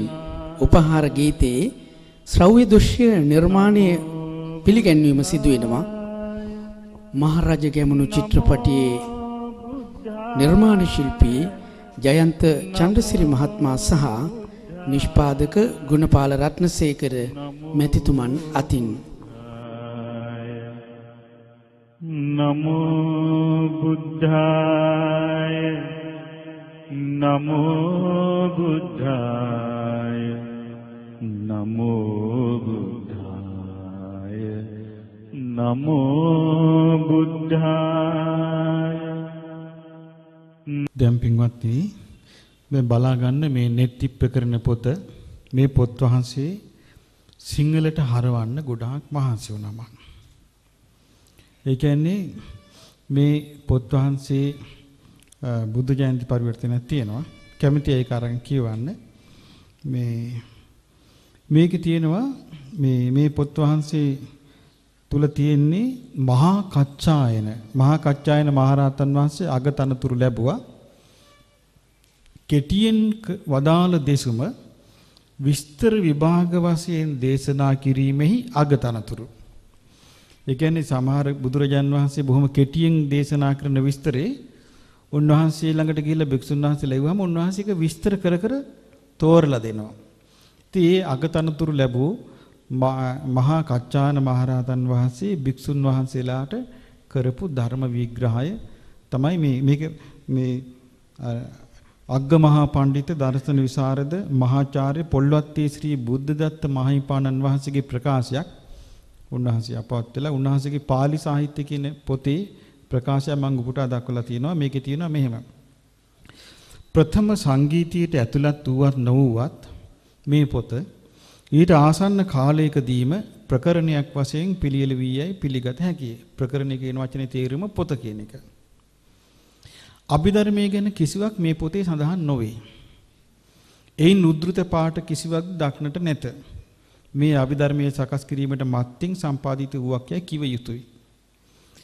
සත්‍ය විනිර්මුක්ත ඒ කියන්නේ සත්‍යයෙන් තොර බුද්ධ දේශනාවක් නැති බැවින් හැම බුද්ධ දේශනාවකම ඇතුළත් සත්‍ය මොනවාදයි සෙවීම මේ ආවට්ටහාරයෙන් කරනු ලැබේ. මේ නෙත්ති ක්‍රමයන් ඉගෙනීමක් මෙකල තේරවාදීන් අතර නැත. ඒ කියන්නේ මේ වර්තමානයේ තේරවාදී කිසිම බෞද්ධ රටක මේ ක්‍රමයට උගන්වලා නැහැ. ධර්ම උගන්වන්නේ නැහැ. මේ පැරණි ක්‍රමයක්. එතකොට මේ පැරණි ක්‍රමයක් නිසා මම මේක සාමාන්‍යයෙන් තරමක ව්‍යක්ත භාෂාවෙන් මම මේක ලියලා තියෙන්නේ ව්‍යාකරණ සහිතව. මම ගොඩාක් විට ව්‍යාකරණ ගැන සැලකිලිමත් වුණේ නැහැ. සැලකිලිමත් වුණේ නැති ව්‍යාකරණ නොදැන නෙමෙයි. හේතුව ගොඩාක් වර්තමානයේ බලන්නේ අදහස තේරුම් ගන්නයි. ඒකට. නමුත් මේක මම සම්පූර්ණ ව්‍යාකරණ අනුකූලව ලියලා තියෙන්නේ. එතකොට මේ නැවත නැවත නැවත කියවන්න මේ අත්පොතක් හැටියට ඊටාම වටිනා පොතක්.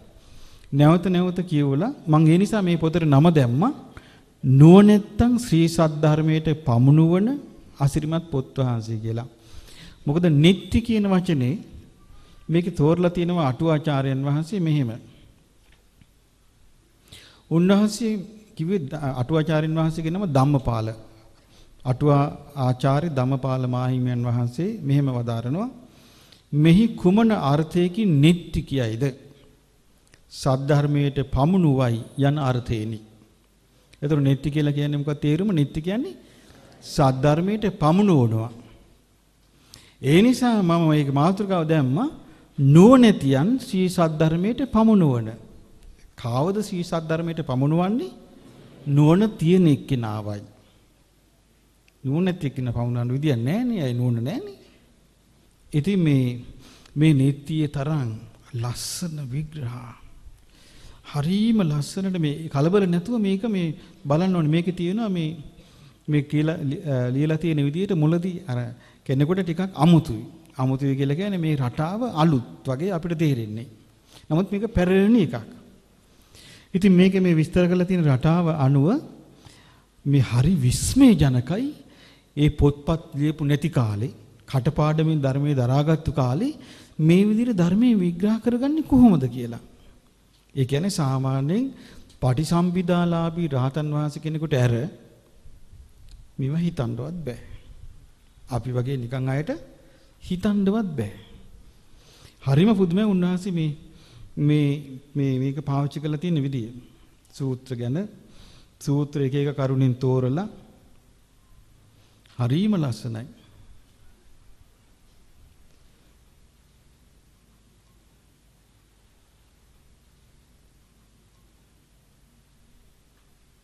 ඒ කාලේ මේ ධර්මය අවබෝධ කරගන්න ඒ ඒ මේ මේ හරිය උපකාර වෙලා තියෙන මේ ධර්ම විග්‍රහය මේ බලන්න මම මේ pāli ඒව සිංහල අර්ථ තියෙනවා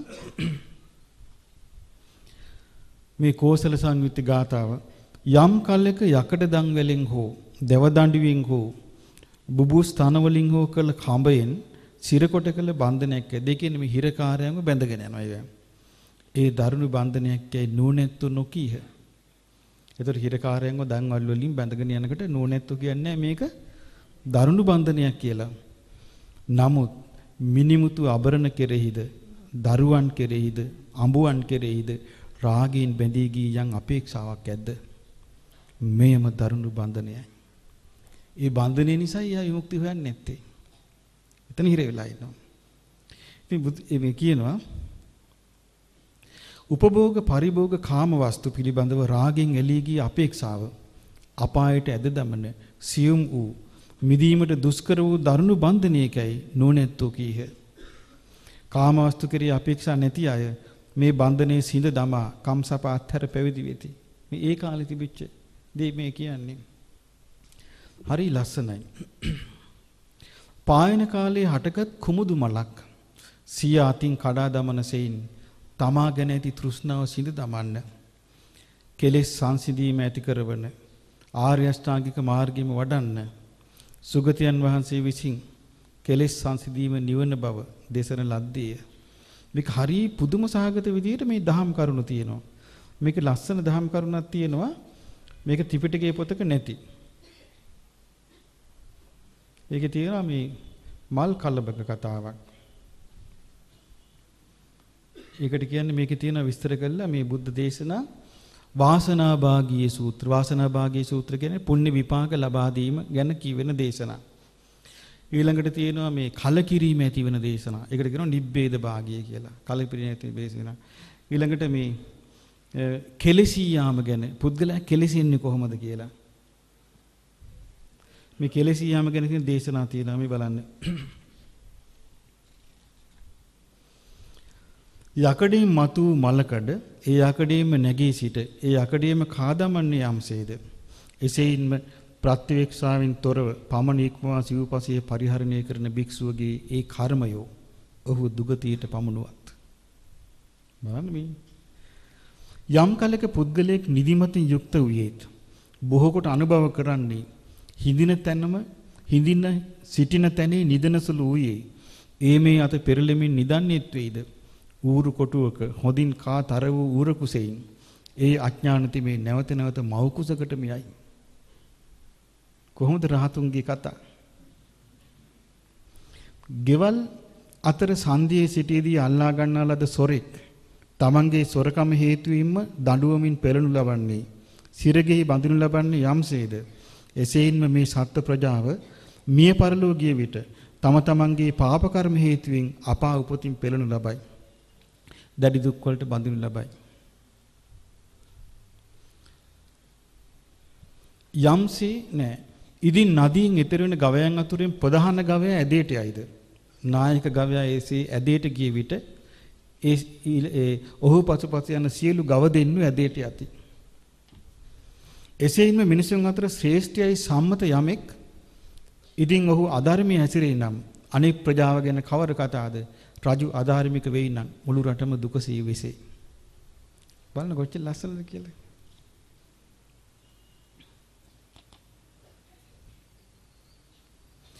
ඒකාන්තයෙන්ම කාමයන් නිසා බොහෝ වෙහෙසටපත් වූ ස්වභාවය ඇති මේ මිනිස්සු කෙලෙස් සහිත කර්මයන්ට ඇලී පව් කරති. ඔව්හු බොහෝ ජනයා පිරී වසන කටුක වූ භයානක වූ අවීචි මහා නරකයට යති.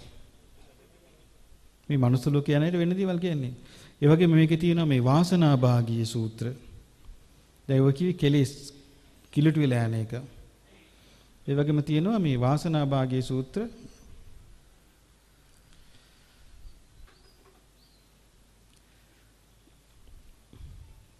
මේ බලන්න මම මේකේ පාලි භාෂාව මොකද ගාථා ඔක්කොම තියෙනවා පාලියෙන් දාලා ඒකේ සිංහල පරිවර්තන තියෙන මම සිංහල පරිවර්තනයක් කියවනම් මේ වාසනාව ගැන විග්‍රහ කරන සූත්‍රයයි ඕන්න බලන්න අග්‍ර පුද්ගලයාණන් වූ දෙව් මිනිසුන්ට අනුකම්පා ඇති තෘෂ්ණාව නසන ලද ශාක්‍ය මුනීන්ද්‍රයන් වහන්සේ කොසල් නුවරට පෙරවරු බත් කාලයේ පිඬු පිණිස වැඩිසේක.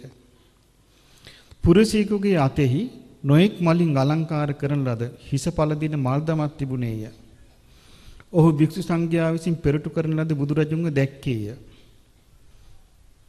රජමාවතෙන් පිවිසෙන්නා වූ දෙව් මිනිසුන් විසින් පුදුණු ලද්දා වූ සම්බුදු රජුන් කෙරෙහි සිත පහදවාගෙන සතුටු වූයේ උන්වහන්සේ වෙත එළඹියේය.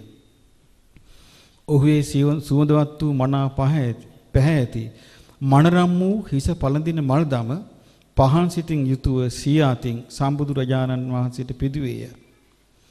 එකල්හි බුදුරජුන්ගේ ගිනිසුළු පැහැගත් තොල් සඟල අතරින් දහස් රැස් ඇති විදුලි එළියක් බඳු ආලෝකයක් මොවින් නික්ම ගියේය. ඒ ආලෝකය ආදිච්ච බඳු වූ බුදුරජුන්ගේ සිරස පැදනු පැදකුණු කොට තුන්වර කරකැවි සිරස අතරින් නොපෙනී ගියේය. ලොමුඩහා ගැනීම ඇතිවෙන මේ ආශ්චර්ය වූ අద్භූත වූ සිදුවීම දැක ආයුෂ්මත් ආනන්ද තෙරණුවෝ සිවුර ඒකාංශ කොට පොරවාගෙන වන්දනා කොට මෙය පැවසූහ. මහා මුනීන්ද්‍රයන් වහන්සේ මද සිනහ පහල කිරීමට හේතුව කුමක්දයි වදාළ මැනව දහම් ආලෝකයේ වන්නේය මුනීන්ද්‍රයන් වහන්සේ අපගේ සැකේ දුරුකොට වදාළ මැනව. යම් කෙනෙකු තුල හැම කල්ලි සීළු ධර්මයන් පිළිබඳ අවබෝධයක් පවතීද?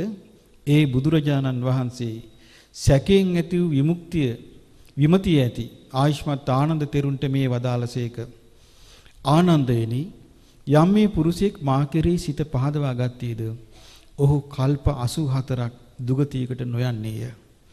දෙවියන් අතර දිව්‍ය සෞභාගයෙන් අග්‍රව දිව්‍ය රාජ්‍ය කොට මිනිස් ලොව මිනිසුන්ට අධිපතිව රටෙහි රජවන්නේය ඔහු අන්තිම ආත්ම භාවයේ පැවදිව චතුරාර්ය සත්‍ය සාක්ෂාත් කොට නසන ලද රාග ඇතිව හිසේ පළඳින මල් දමවන වටසංක නමින් වටංශක නමින් පසේ බුදු වන්නේය. ඒ කිවි අර මල් මාලයක් හිසේ පළඳින ඒ කාලේ හිසේ පළඳින මල් මාල තිබිලා තියෙනවා රවුමට දාන. ඒ මල් මාලයක් මෙයා විකුණන්න අරන් යනවා ලස්සන සරසලා. අරගෙන යනකොට බුදුරජාන් වහන්සේ රජමාවතේ වඩිනවා සවැත් නුවර. වඩනකොට මෙයා පැහැදිලා ඒක බුදුරජාන් වහන්සේගේ පාදලකින් පූජා කරනවා. ඒතර තමයි මදසිනාව මුවින් පිට වෙන්නේ.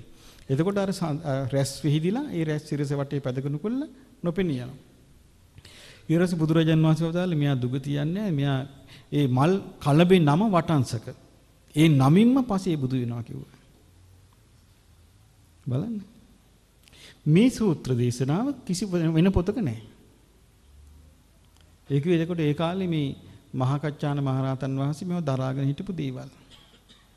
ඒව හරි අසිරිමත්. ඊළඟට තියෙනවා මේ හරිම ලස්සනයි මේවා. මම පුදුමාකාර සතුටක් වින්දා මේක පරිවර්තන කරන කාලේ. තනියම මම සතුට විඳිනවා. තනියම මම hina වෙවි ඉන්නවා. හිතා ගන්න බැරි ප්‍රීතියක් හිතට එනවා මේවා කියවනකට. ඔයගොල්ලන්ටත් ඒවි සමහර විට.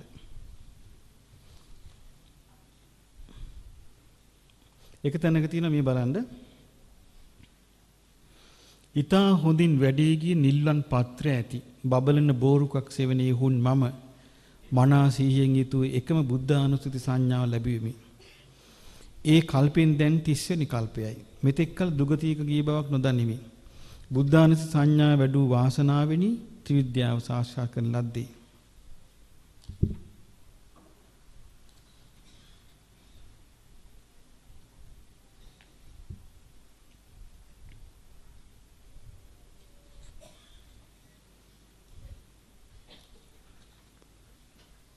මේකේ අර පොත්වල නැති ඒවාත් තියෙන ගොඩක් ඒවා.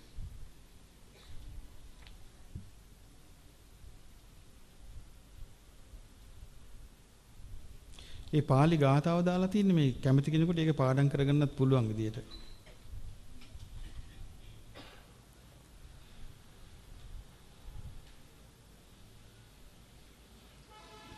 මේ බලන්න තව එකක් තියෙනවා. බ්‍රහ්මදත්ත රජුට අයත් මනවින් බෙදන ලද මහා මාවත් ඇති වස්ත්‍රාභරණින් සමෘද්ධිමත් වූ සුලභ වූ ආහාර පාන ආදී ඇති කපිල නමින් නගරයක් තිබුණේය. පංචාලයන්ගේ උතුම් නගරේ මම පිට්ටු විකුණෙමි. ඒ මම යසපිරිවර ඇති අරිට්ට නම් පසේ බුදු රජුන් අහසෙහි වැඩ සිටිනු දැක්කෙමි. උන්වහන්සේ ගැන සිත පහදවාගෙන සතුටටපත් වූෙමි. මාගේ ගෙහි යමක් තිබුණේය. එයින් නරෝත්තම වූ අරිට්ට පසේබුදු රජුන්ට නිතිපතා බතින් දන් දුන්නෙමි. එකල්ලි ඊල් මාස සඳ පිරුණේ පුන් පොහෝ දිනේ පැමිණියේය. එවිට අලුත් වස්ත්‍ර යුගලක්ගෙන අරිට්ට පසේබුදු රජුන්ට පිරිනැමුවෙමි. මා තුළ පහන්ව ගිය සිත් ඇති බව දැන ඒ නරෝත්තම වූ අනුකම්පා ඇති කාරුණික තෘෂ්ණා නැසූ මුනිදානෝ ඒ වස්ත්‍ර යුගල පිළිගස්සේක. මම බුදුවරුන් විසින් වර්ණනා කරන ලද කල්යාණ වූ පුණ්‍ය කර්මයේ කොට දෙව්ලොවේද මිනිස් ලොවේද සැරිසරා එයින් චුත වූයෙමි. බර්ණස් නගරයේ මහා සාර වූ සිටුකුලෙහි සිරිතුමාගේ පනටත් වඩා අතිශයින්ම ප්‍රිය වූ එකම පුත්‍රයාව උපන්නෙමි. කවුද මේ? බලමු කවුද කියලා. එහිදී නොනැති බවට පත් වූ මම දිව්‍ය පුත්‍රයෙකු විසින් සංවේගයට පත් කරන ලදුව ප්‍රාසාදයෙන් බැස සම්මා සම්බුදු රජුන් කරා එළඹීමි. කවුද? ඒ ගෞතම බුදුරජාණෝ අනුකම්පා උපදවාගෙන මාහට දහම් දෙසූසේක දුකත් දුක් උපදවන හේතුවත් දුක් උපදවන හේතුව ඉක්මවා යාමත් දුක් සංසිඳවීම පිණිස පවතින ආර්ය ආර්ය මාර්ගයත් යන මේ චතුරාර්ය සත්‍යයයි මම මේ මුනිදානන්ගේ වචනය අසා බුදුසසුනේ සීත්තලවා වාසය කෙලිමි. දිවාරාය දෙකෙහි අලස නොයෙමි. මම සමාධිය ප්‍රතිවේද කෙලිමි. මම මේක දිහා බැලුවා මට හිතුනේ මේ කාගේ කවුද කියලා විස්තර නැහැ. මම නිකන් හිතුනේ මේ යස මහ රහතන් වහන්සේ වද්ද කියලා හිතුණා. හරි ලස්සන දහම් කරුණු තියෙනවා ධර්මයෙන් මෙනෙහි කරන්න ඕනේ ආකාරය තියෙනවා පටිච්චසමුපාදේ තියෙනවා ඉතින් මේක අත්පොතක් වගේ අර හිමින් හිමින් සාමාන්‍යයෙන් මේක මම පරිවර්තනය කරන අතර වාරෙදී මට මාතින් සමහරට 20 30 පාරක් කියුණා. කියලා තමයි මම මේක කළේ හොඳටම තේරෙනකන්. ඒ නිසා එකපාරට මේක තේරුන්නේ නැහැ කියලා අතාරින්න එපා. කියවල ඉවර හා මං කියවන්නේ කියලා අතාරින්න එපා. එහෙමනේ දැන් ගොඩක් අය කරන්නේ. එකපාර මෙහෙම කියවගෙන යනවා. මෙලෝදියක් තේරිලා නැහැ. ආයෙක කියුවා. එහෙම නෙමෙයි. මේක හොඳට කියවන්න 20 30 පාරක් හරි 50 පාරක් හරි කියවන්න අත්පොතක් වගේ තියාගන්න නිතර නිතර කියවන්න. ඒතකොට ටික ටික ටික දැන් සාමාන්‍ය සූත්‍ර දේශනත් එහෙමයි. එක පාරක් කියවලා ආයමත් කියවුවට ආයෙ වැටෙනවා. ආයමත් කියවුවට ආයෙ වැටෙනවා. එහෙම එකක් මේ බුද්ධ දේශනාවේ තියෙනවා. ඊළඟ කාරණේ අර DVD ෆිල්ම් එකක් තියෙනවා උඩුගම්බලා කියලා. ඒ ෆිල්ම් එක අර තරුණ පුතෙක් සුමිත් චන්ද්‍ර කිරියලා තමයි හදලා තියෙන්නේ. ඉතින් මේ මම සිරිපාගමින් දෙද්දි මම ඒ පුතාව දවසයි දෙකයි කතා කළේ. ඉතින් ෆිල්ම් හදන්න ආසයි මං කව පුතා පුළුවන් නම් ඉතින් දහම් කරුණු ඔය එහෙම එකක් තමයි හදන්නේ කිව්වා. ඊට පස්සේ මට ඉගෙනලා දුන්නා. ඉතින් මං සාමාන්‍යයෙන් ෆිල්ම් බලන්නේ නැහැ. මෙතුමා මට කීපතාවක් කරදනා කළා මහරජ ගමනු බලන්නේ කියලා. මං අර බලන්නට කැමති ඒක බැලුවට පස්සේ මට ඕකම හිතේ වැඩ කරන්න ගත්තොත් මොකද මගේ හිතේ ස්වභාවයෙන්ම මම හරි ಜಾති කනුරාගින් යුක්ත කෙනෙක්. එතකොට මට බයක් තියෙනවා මට ඒකම මතක් වෙවි තියෙයිද කියලා. මොකද මොකේ ලස්සනට හදලා තියෙනවා කියලා මට ආරංචි බලන බලන අය කියනවා ඒක බැලුවේ නැත්නම් ඇස් වලින් වැඩක් නැහැලු.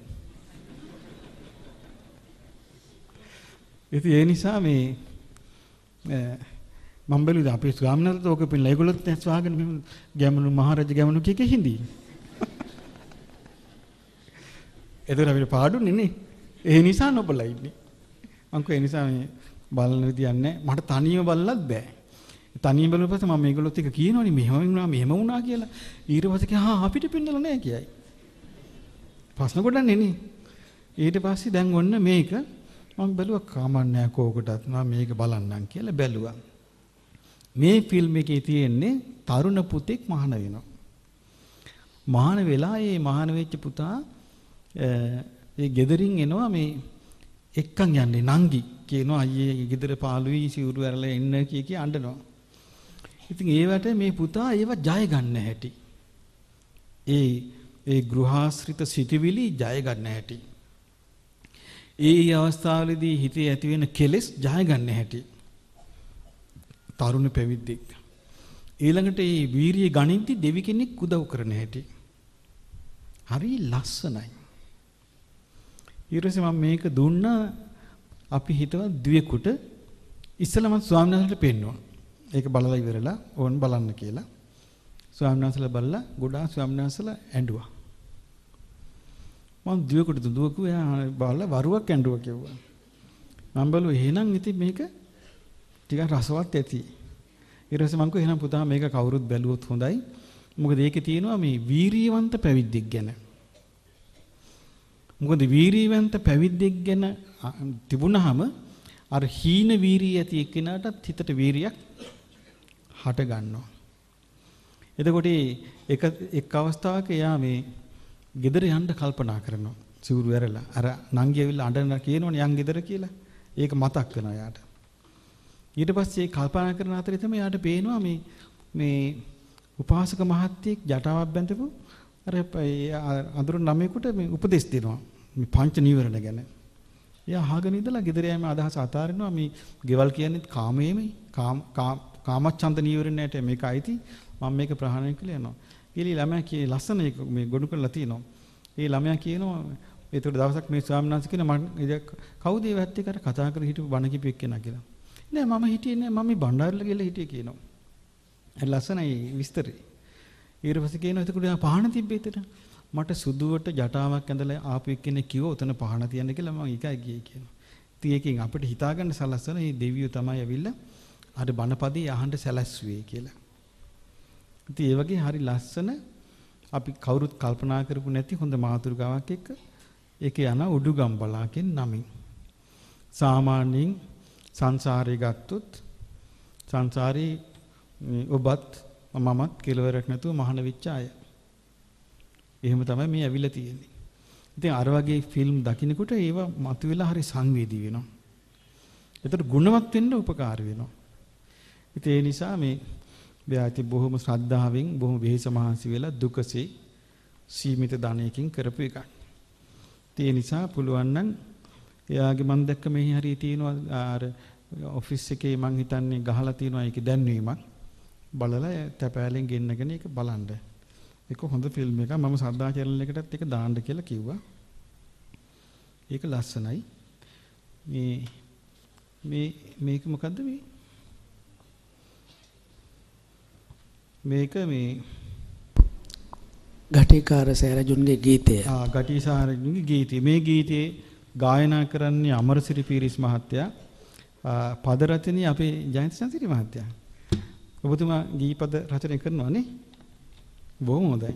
ඉතින් මම හිතන්නේ මම මේක ඇහුවා මට මතක හැටියට. සංගීතයේ වරත්න ගමගේ මහත්තයා ත්‍රිමාණ සජීවීකරණේ මහේෂ් චන්ද්‍රසේන. ඒ කියන්නේ මේක මේ බලන්න පුළුවන් එකක් නේ? රූප රචනයේ ශ්‍රද්ධා රූප වාහිනී නිෂ්පාදනයේ අපේ රත්නසේකර මහත්තයා. ගටිකාර සෑයට මම කවි ටිකක් හැදුවා. ඒක අපි කියලා වන්දනා කරමු. පළමුව ගෞතම මොනිදු වඳින්ටයි.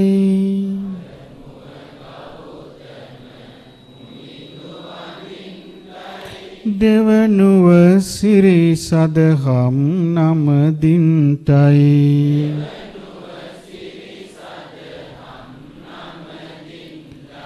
තෙවනුව මහා සංගරුවන වඳින්ටයි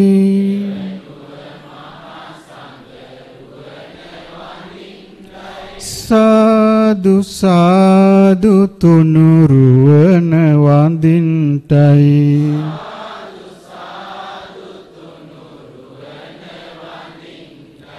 අප ගෞතම මුනිදුට පෙර වැඩ සිටි.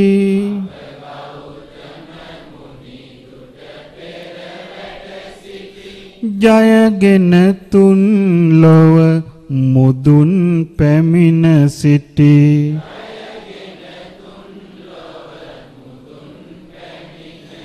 සම්බුදු බලයෙන් සැමටම වැඩි හිටි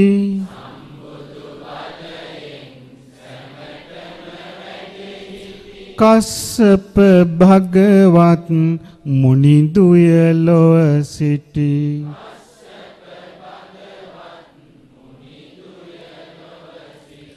ඒ කස්සප සම්බුදු උතුමන්නේ.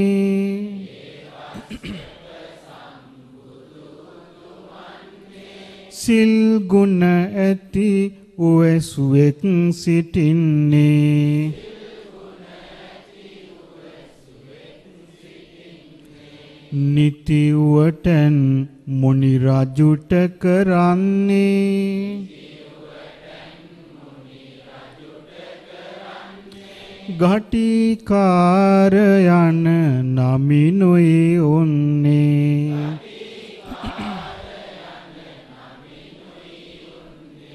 නිත්තඳ මාපියනට සලකන්නේ.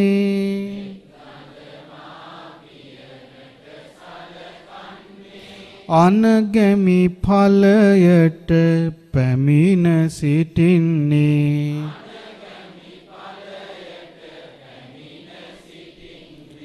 තුනුරුවනට දිවි කැප කරමින්නේ.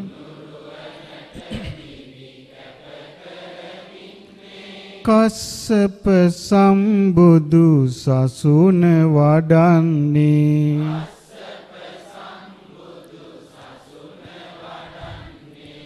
අප මහබෝසත් එකල උපන්නේ.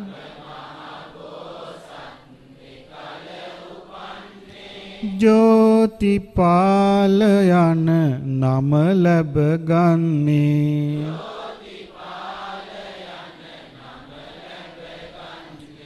ගටිකාරහට මිතුරුව ඉන්නේ. කලන මිතුරු රැකවරණ ලබන්නේ.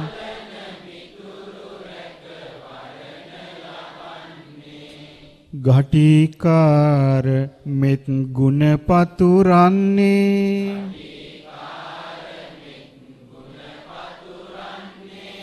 ජෝතිපාල හට සැපත සදන්නේ.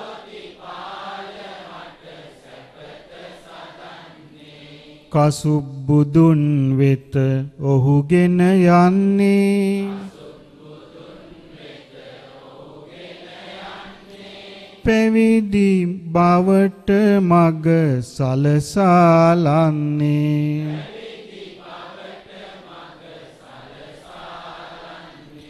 පුරනා දස පෙරුමන්ද පිරෙන්නේ. කරුණා ගුණයට නිතියොමු වන්නේ.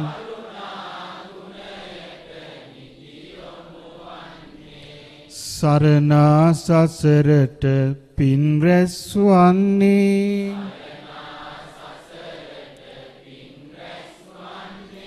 තිලොනා මුනිදුගේ පිහිට ලැබෙන්නේ.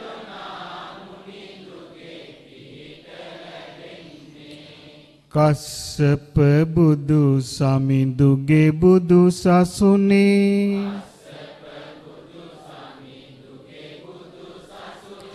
ගටිකාර ගුණයටමයි නැමුණේ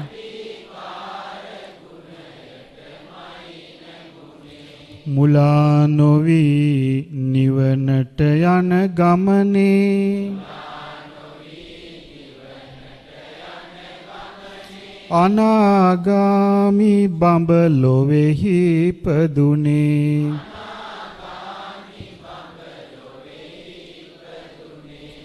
අප බෝසත් අබිනික්මන් කළ විට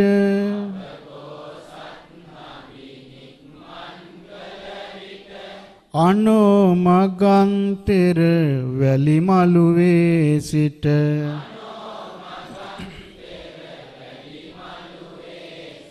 කුමරුන් ගිහි වෙස අත්හරිනා විට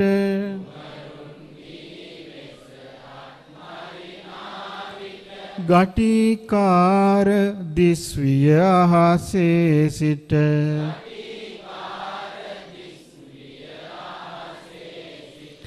ගටිකාර බම්බු අහසින් එන්නේ කුමරුට අටපිරිකරයි පුදන්නේ? පැවිදි වෙසින් කුමරුන් සැරසෙන්නේ? කලන මිතුරු දම සැපත සදන්නේ?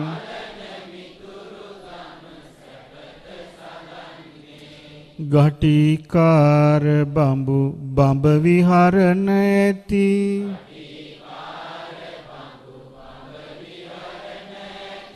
දෙවියන්ගෙන් ලද වැඳුම් පිදුම් ඇති. අප දෙස බලනා කරුණා නෙත් ඇති.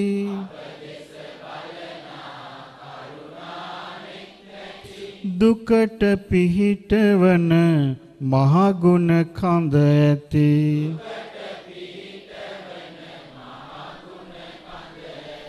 ගටිකාර යන නමට වඳින්නේ. ගටිකාර මහා සෑකරවන්නේ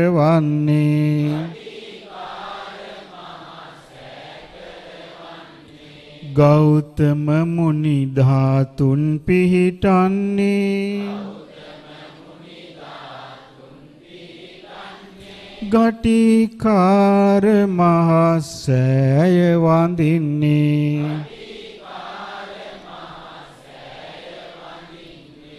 රන් වියනින් සෑගැබ සරසන්නේ.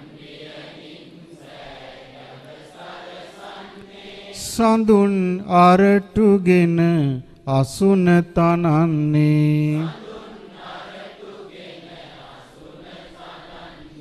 රන් කරඬුවේ මුනි ධාතු පුදන්නේ. ගටිකාර මහා සෑය වඳින්නේ. රන්පත් මත බුදු බණ ලියවන්නේ. රන් බඳුනේ සිය තෙලක් ලෙසින්නේ. ගටිකාර මහා බඹුන් නමින්නේ. ගෞතම බුදු සසුනටයි පුදන්නේ. අප මුනිදුගේ බුදු උපත පුදන්නේ. සම්බුදු බව දම් සකද පුදන්නේ. පිරිනිවනට මල් අසුන පුදන්නේ. ගෞතම බුදු සසුනටයි පුදන්නේ.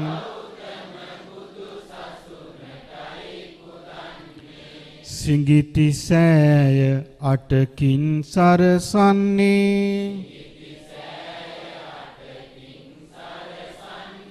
නෙළුම් පෙතින් සෑවට සරසන්නේ. අහසින් වඩිනා සෑවිලසින්නේ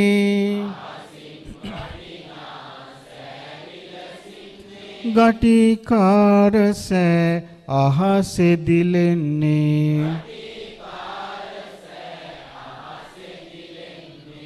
බුදුගුණ බඹලොව දසත දිලේවා. බුදුගුණ දෙව්ලොව හැම පැතිරේවා.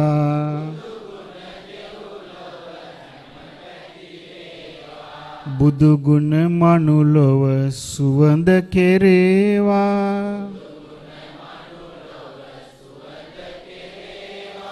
බුදුගුණයෙන් ලොව සිත සැලසේවා.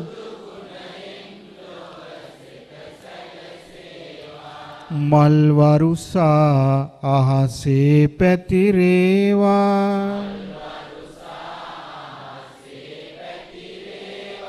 සිල් ගුණයට සිත අවනත වේවා.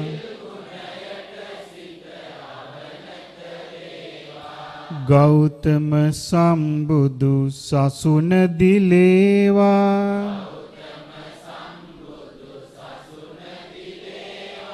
ගටිකාර සෑ රැස්විහි දේවා.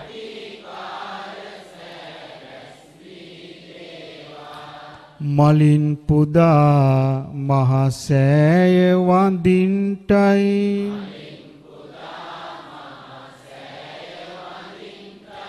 මල්මාලාවෙන් බඳ සරසන්ටයි.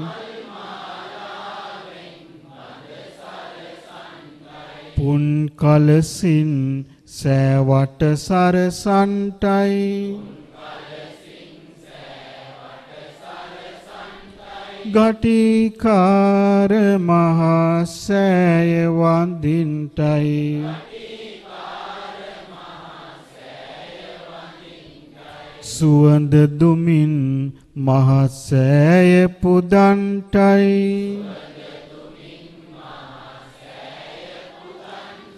ගිලන් පසින් මුනිරජුන් පුදන්ටයි.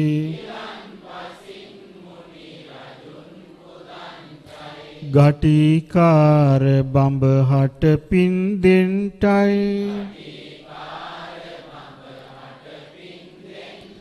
සාදු සාදු මහසෑය වඳින්ටයි.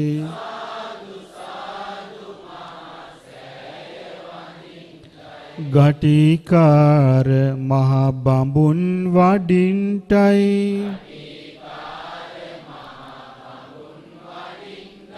මේ පින් සතුටින් පවරා ගන්ටයි.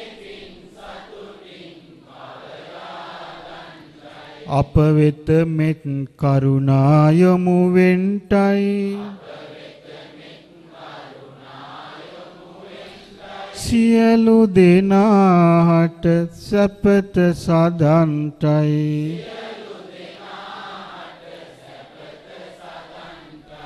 හැම දෙවියන් මේ පින් අරගන්ටයි.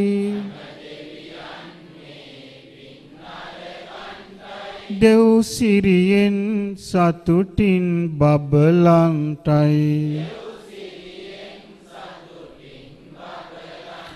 අප හැම දෙන නිතියෙන් සුරකින්ටයි. සියලු දෙනට යහපත සලසන්ටයි.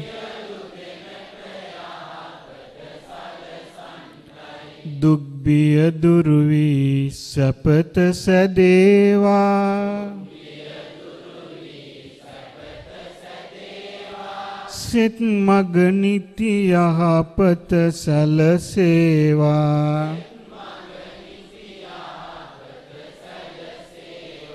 රැස්සූ පින පසුපස පැමිණේවා.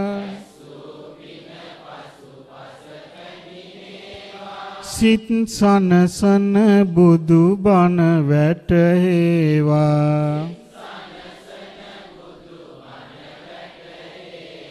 සිල් ගුණයට සිත අවනත වේවා.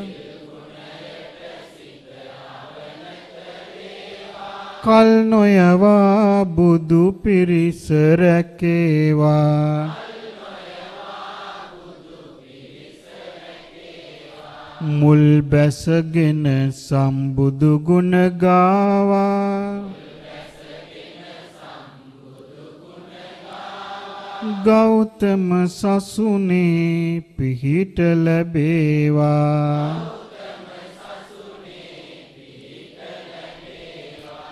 කියන්න මා සමග. ගෞතම සසුනේ පිහිට ලැබේවා.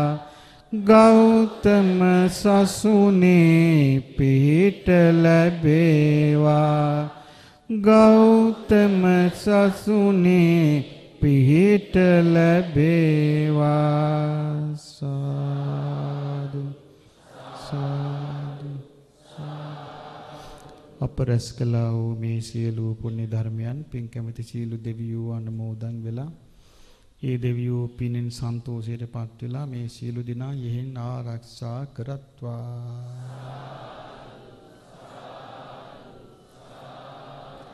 ඒ වගේම මේ බුදු පසේ බුදු අරහන්තක මහ විහාරයේ නිර්මාණය කිරීමේදී බොහෝ වේස මහන්සිගත් අපගේ ශිෂ්‍ය ඥාන විජය ආයතන ප්‍රධාන මේ සියලු සංඝ රත්නයේ සුවසේ ධර්මයේ ධර්මයේ හැසිරෙන්න මේ සියලු පින් හේතු වාසනා වේවා. ඒගම් ඒ වගේම මේ සඳහා නන්න අයුරින් දායක වෙන අහිත දෙන උදපදව කරන සියලු දෙනාට මේට සහභාගී වෙන ඒ වගේම පින් කැමැති මේ සියලු දෙනාටමත් මේ ගෞතම බුද්ධ ශාසනයේ පින්දහම් කරමින් සුවසේ වාසය කරමින් ධර්මයේ හැසිරෙන්න වාසනාව ලැබේවා. අභිවාදන සීලිස්ස නිච්ඡං වද්ධා පචායිනෝ චත්තාරෝ ධම්මා වඩ්ඩಂತಿ ආයුවන්නෝ සුකම් බලං. ආයුරාෝග්‍ය සම්පatti සග්ග සම්පatti මේවච අතෝ නිබ්බාන සම්පatti හිතුනාති සමිජ්ජතු.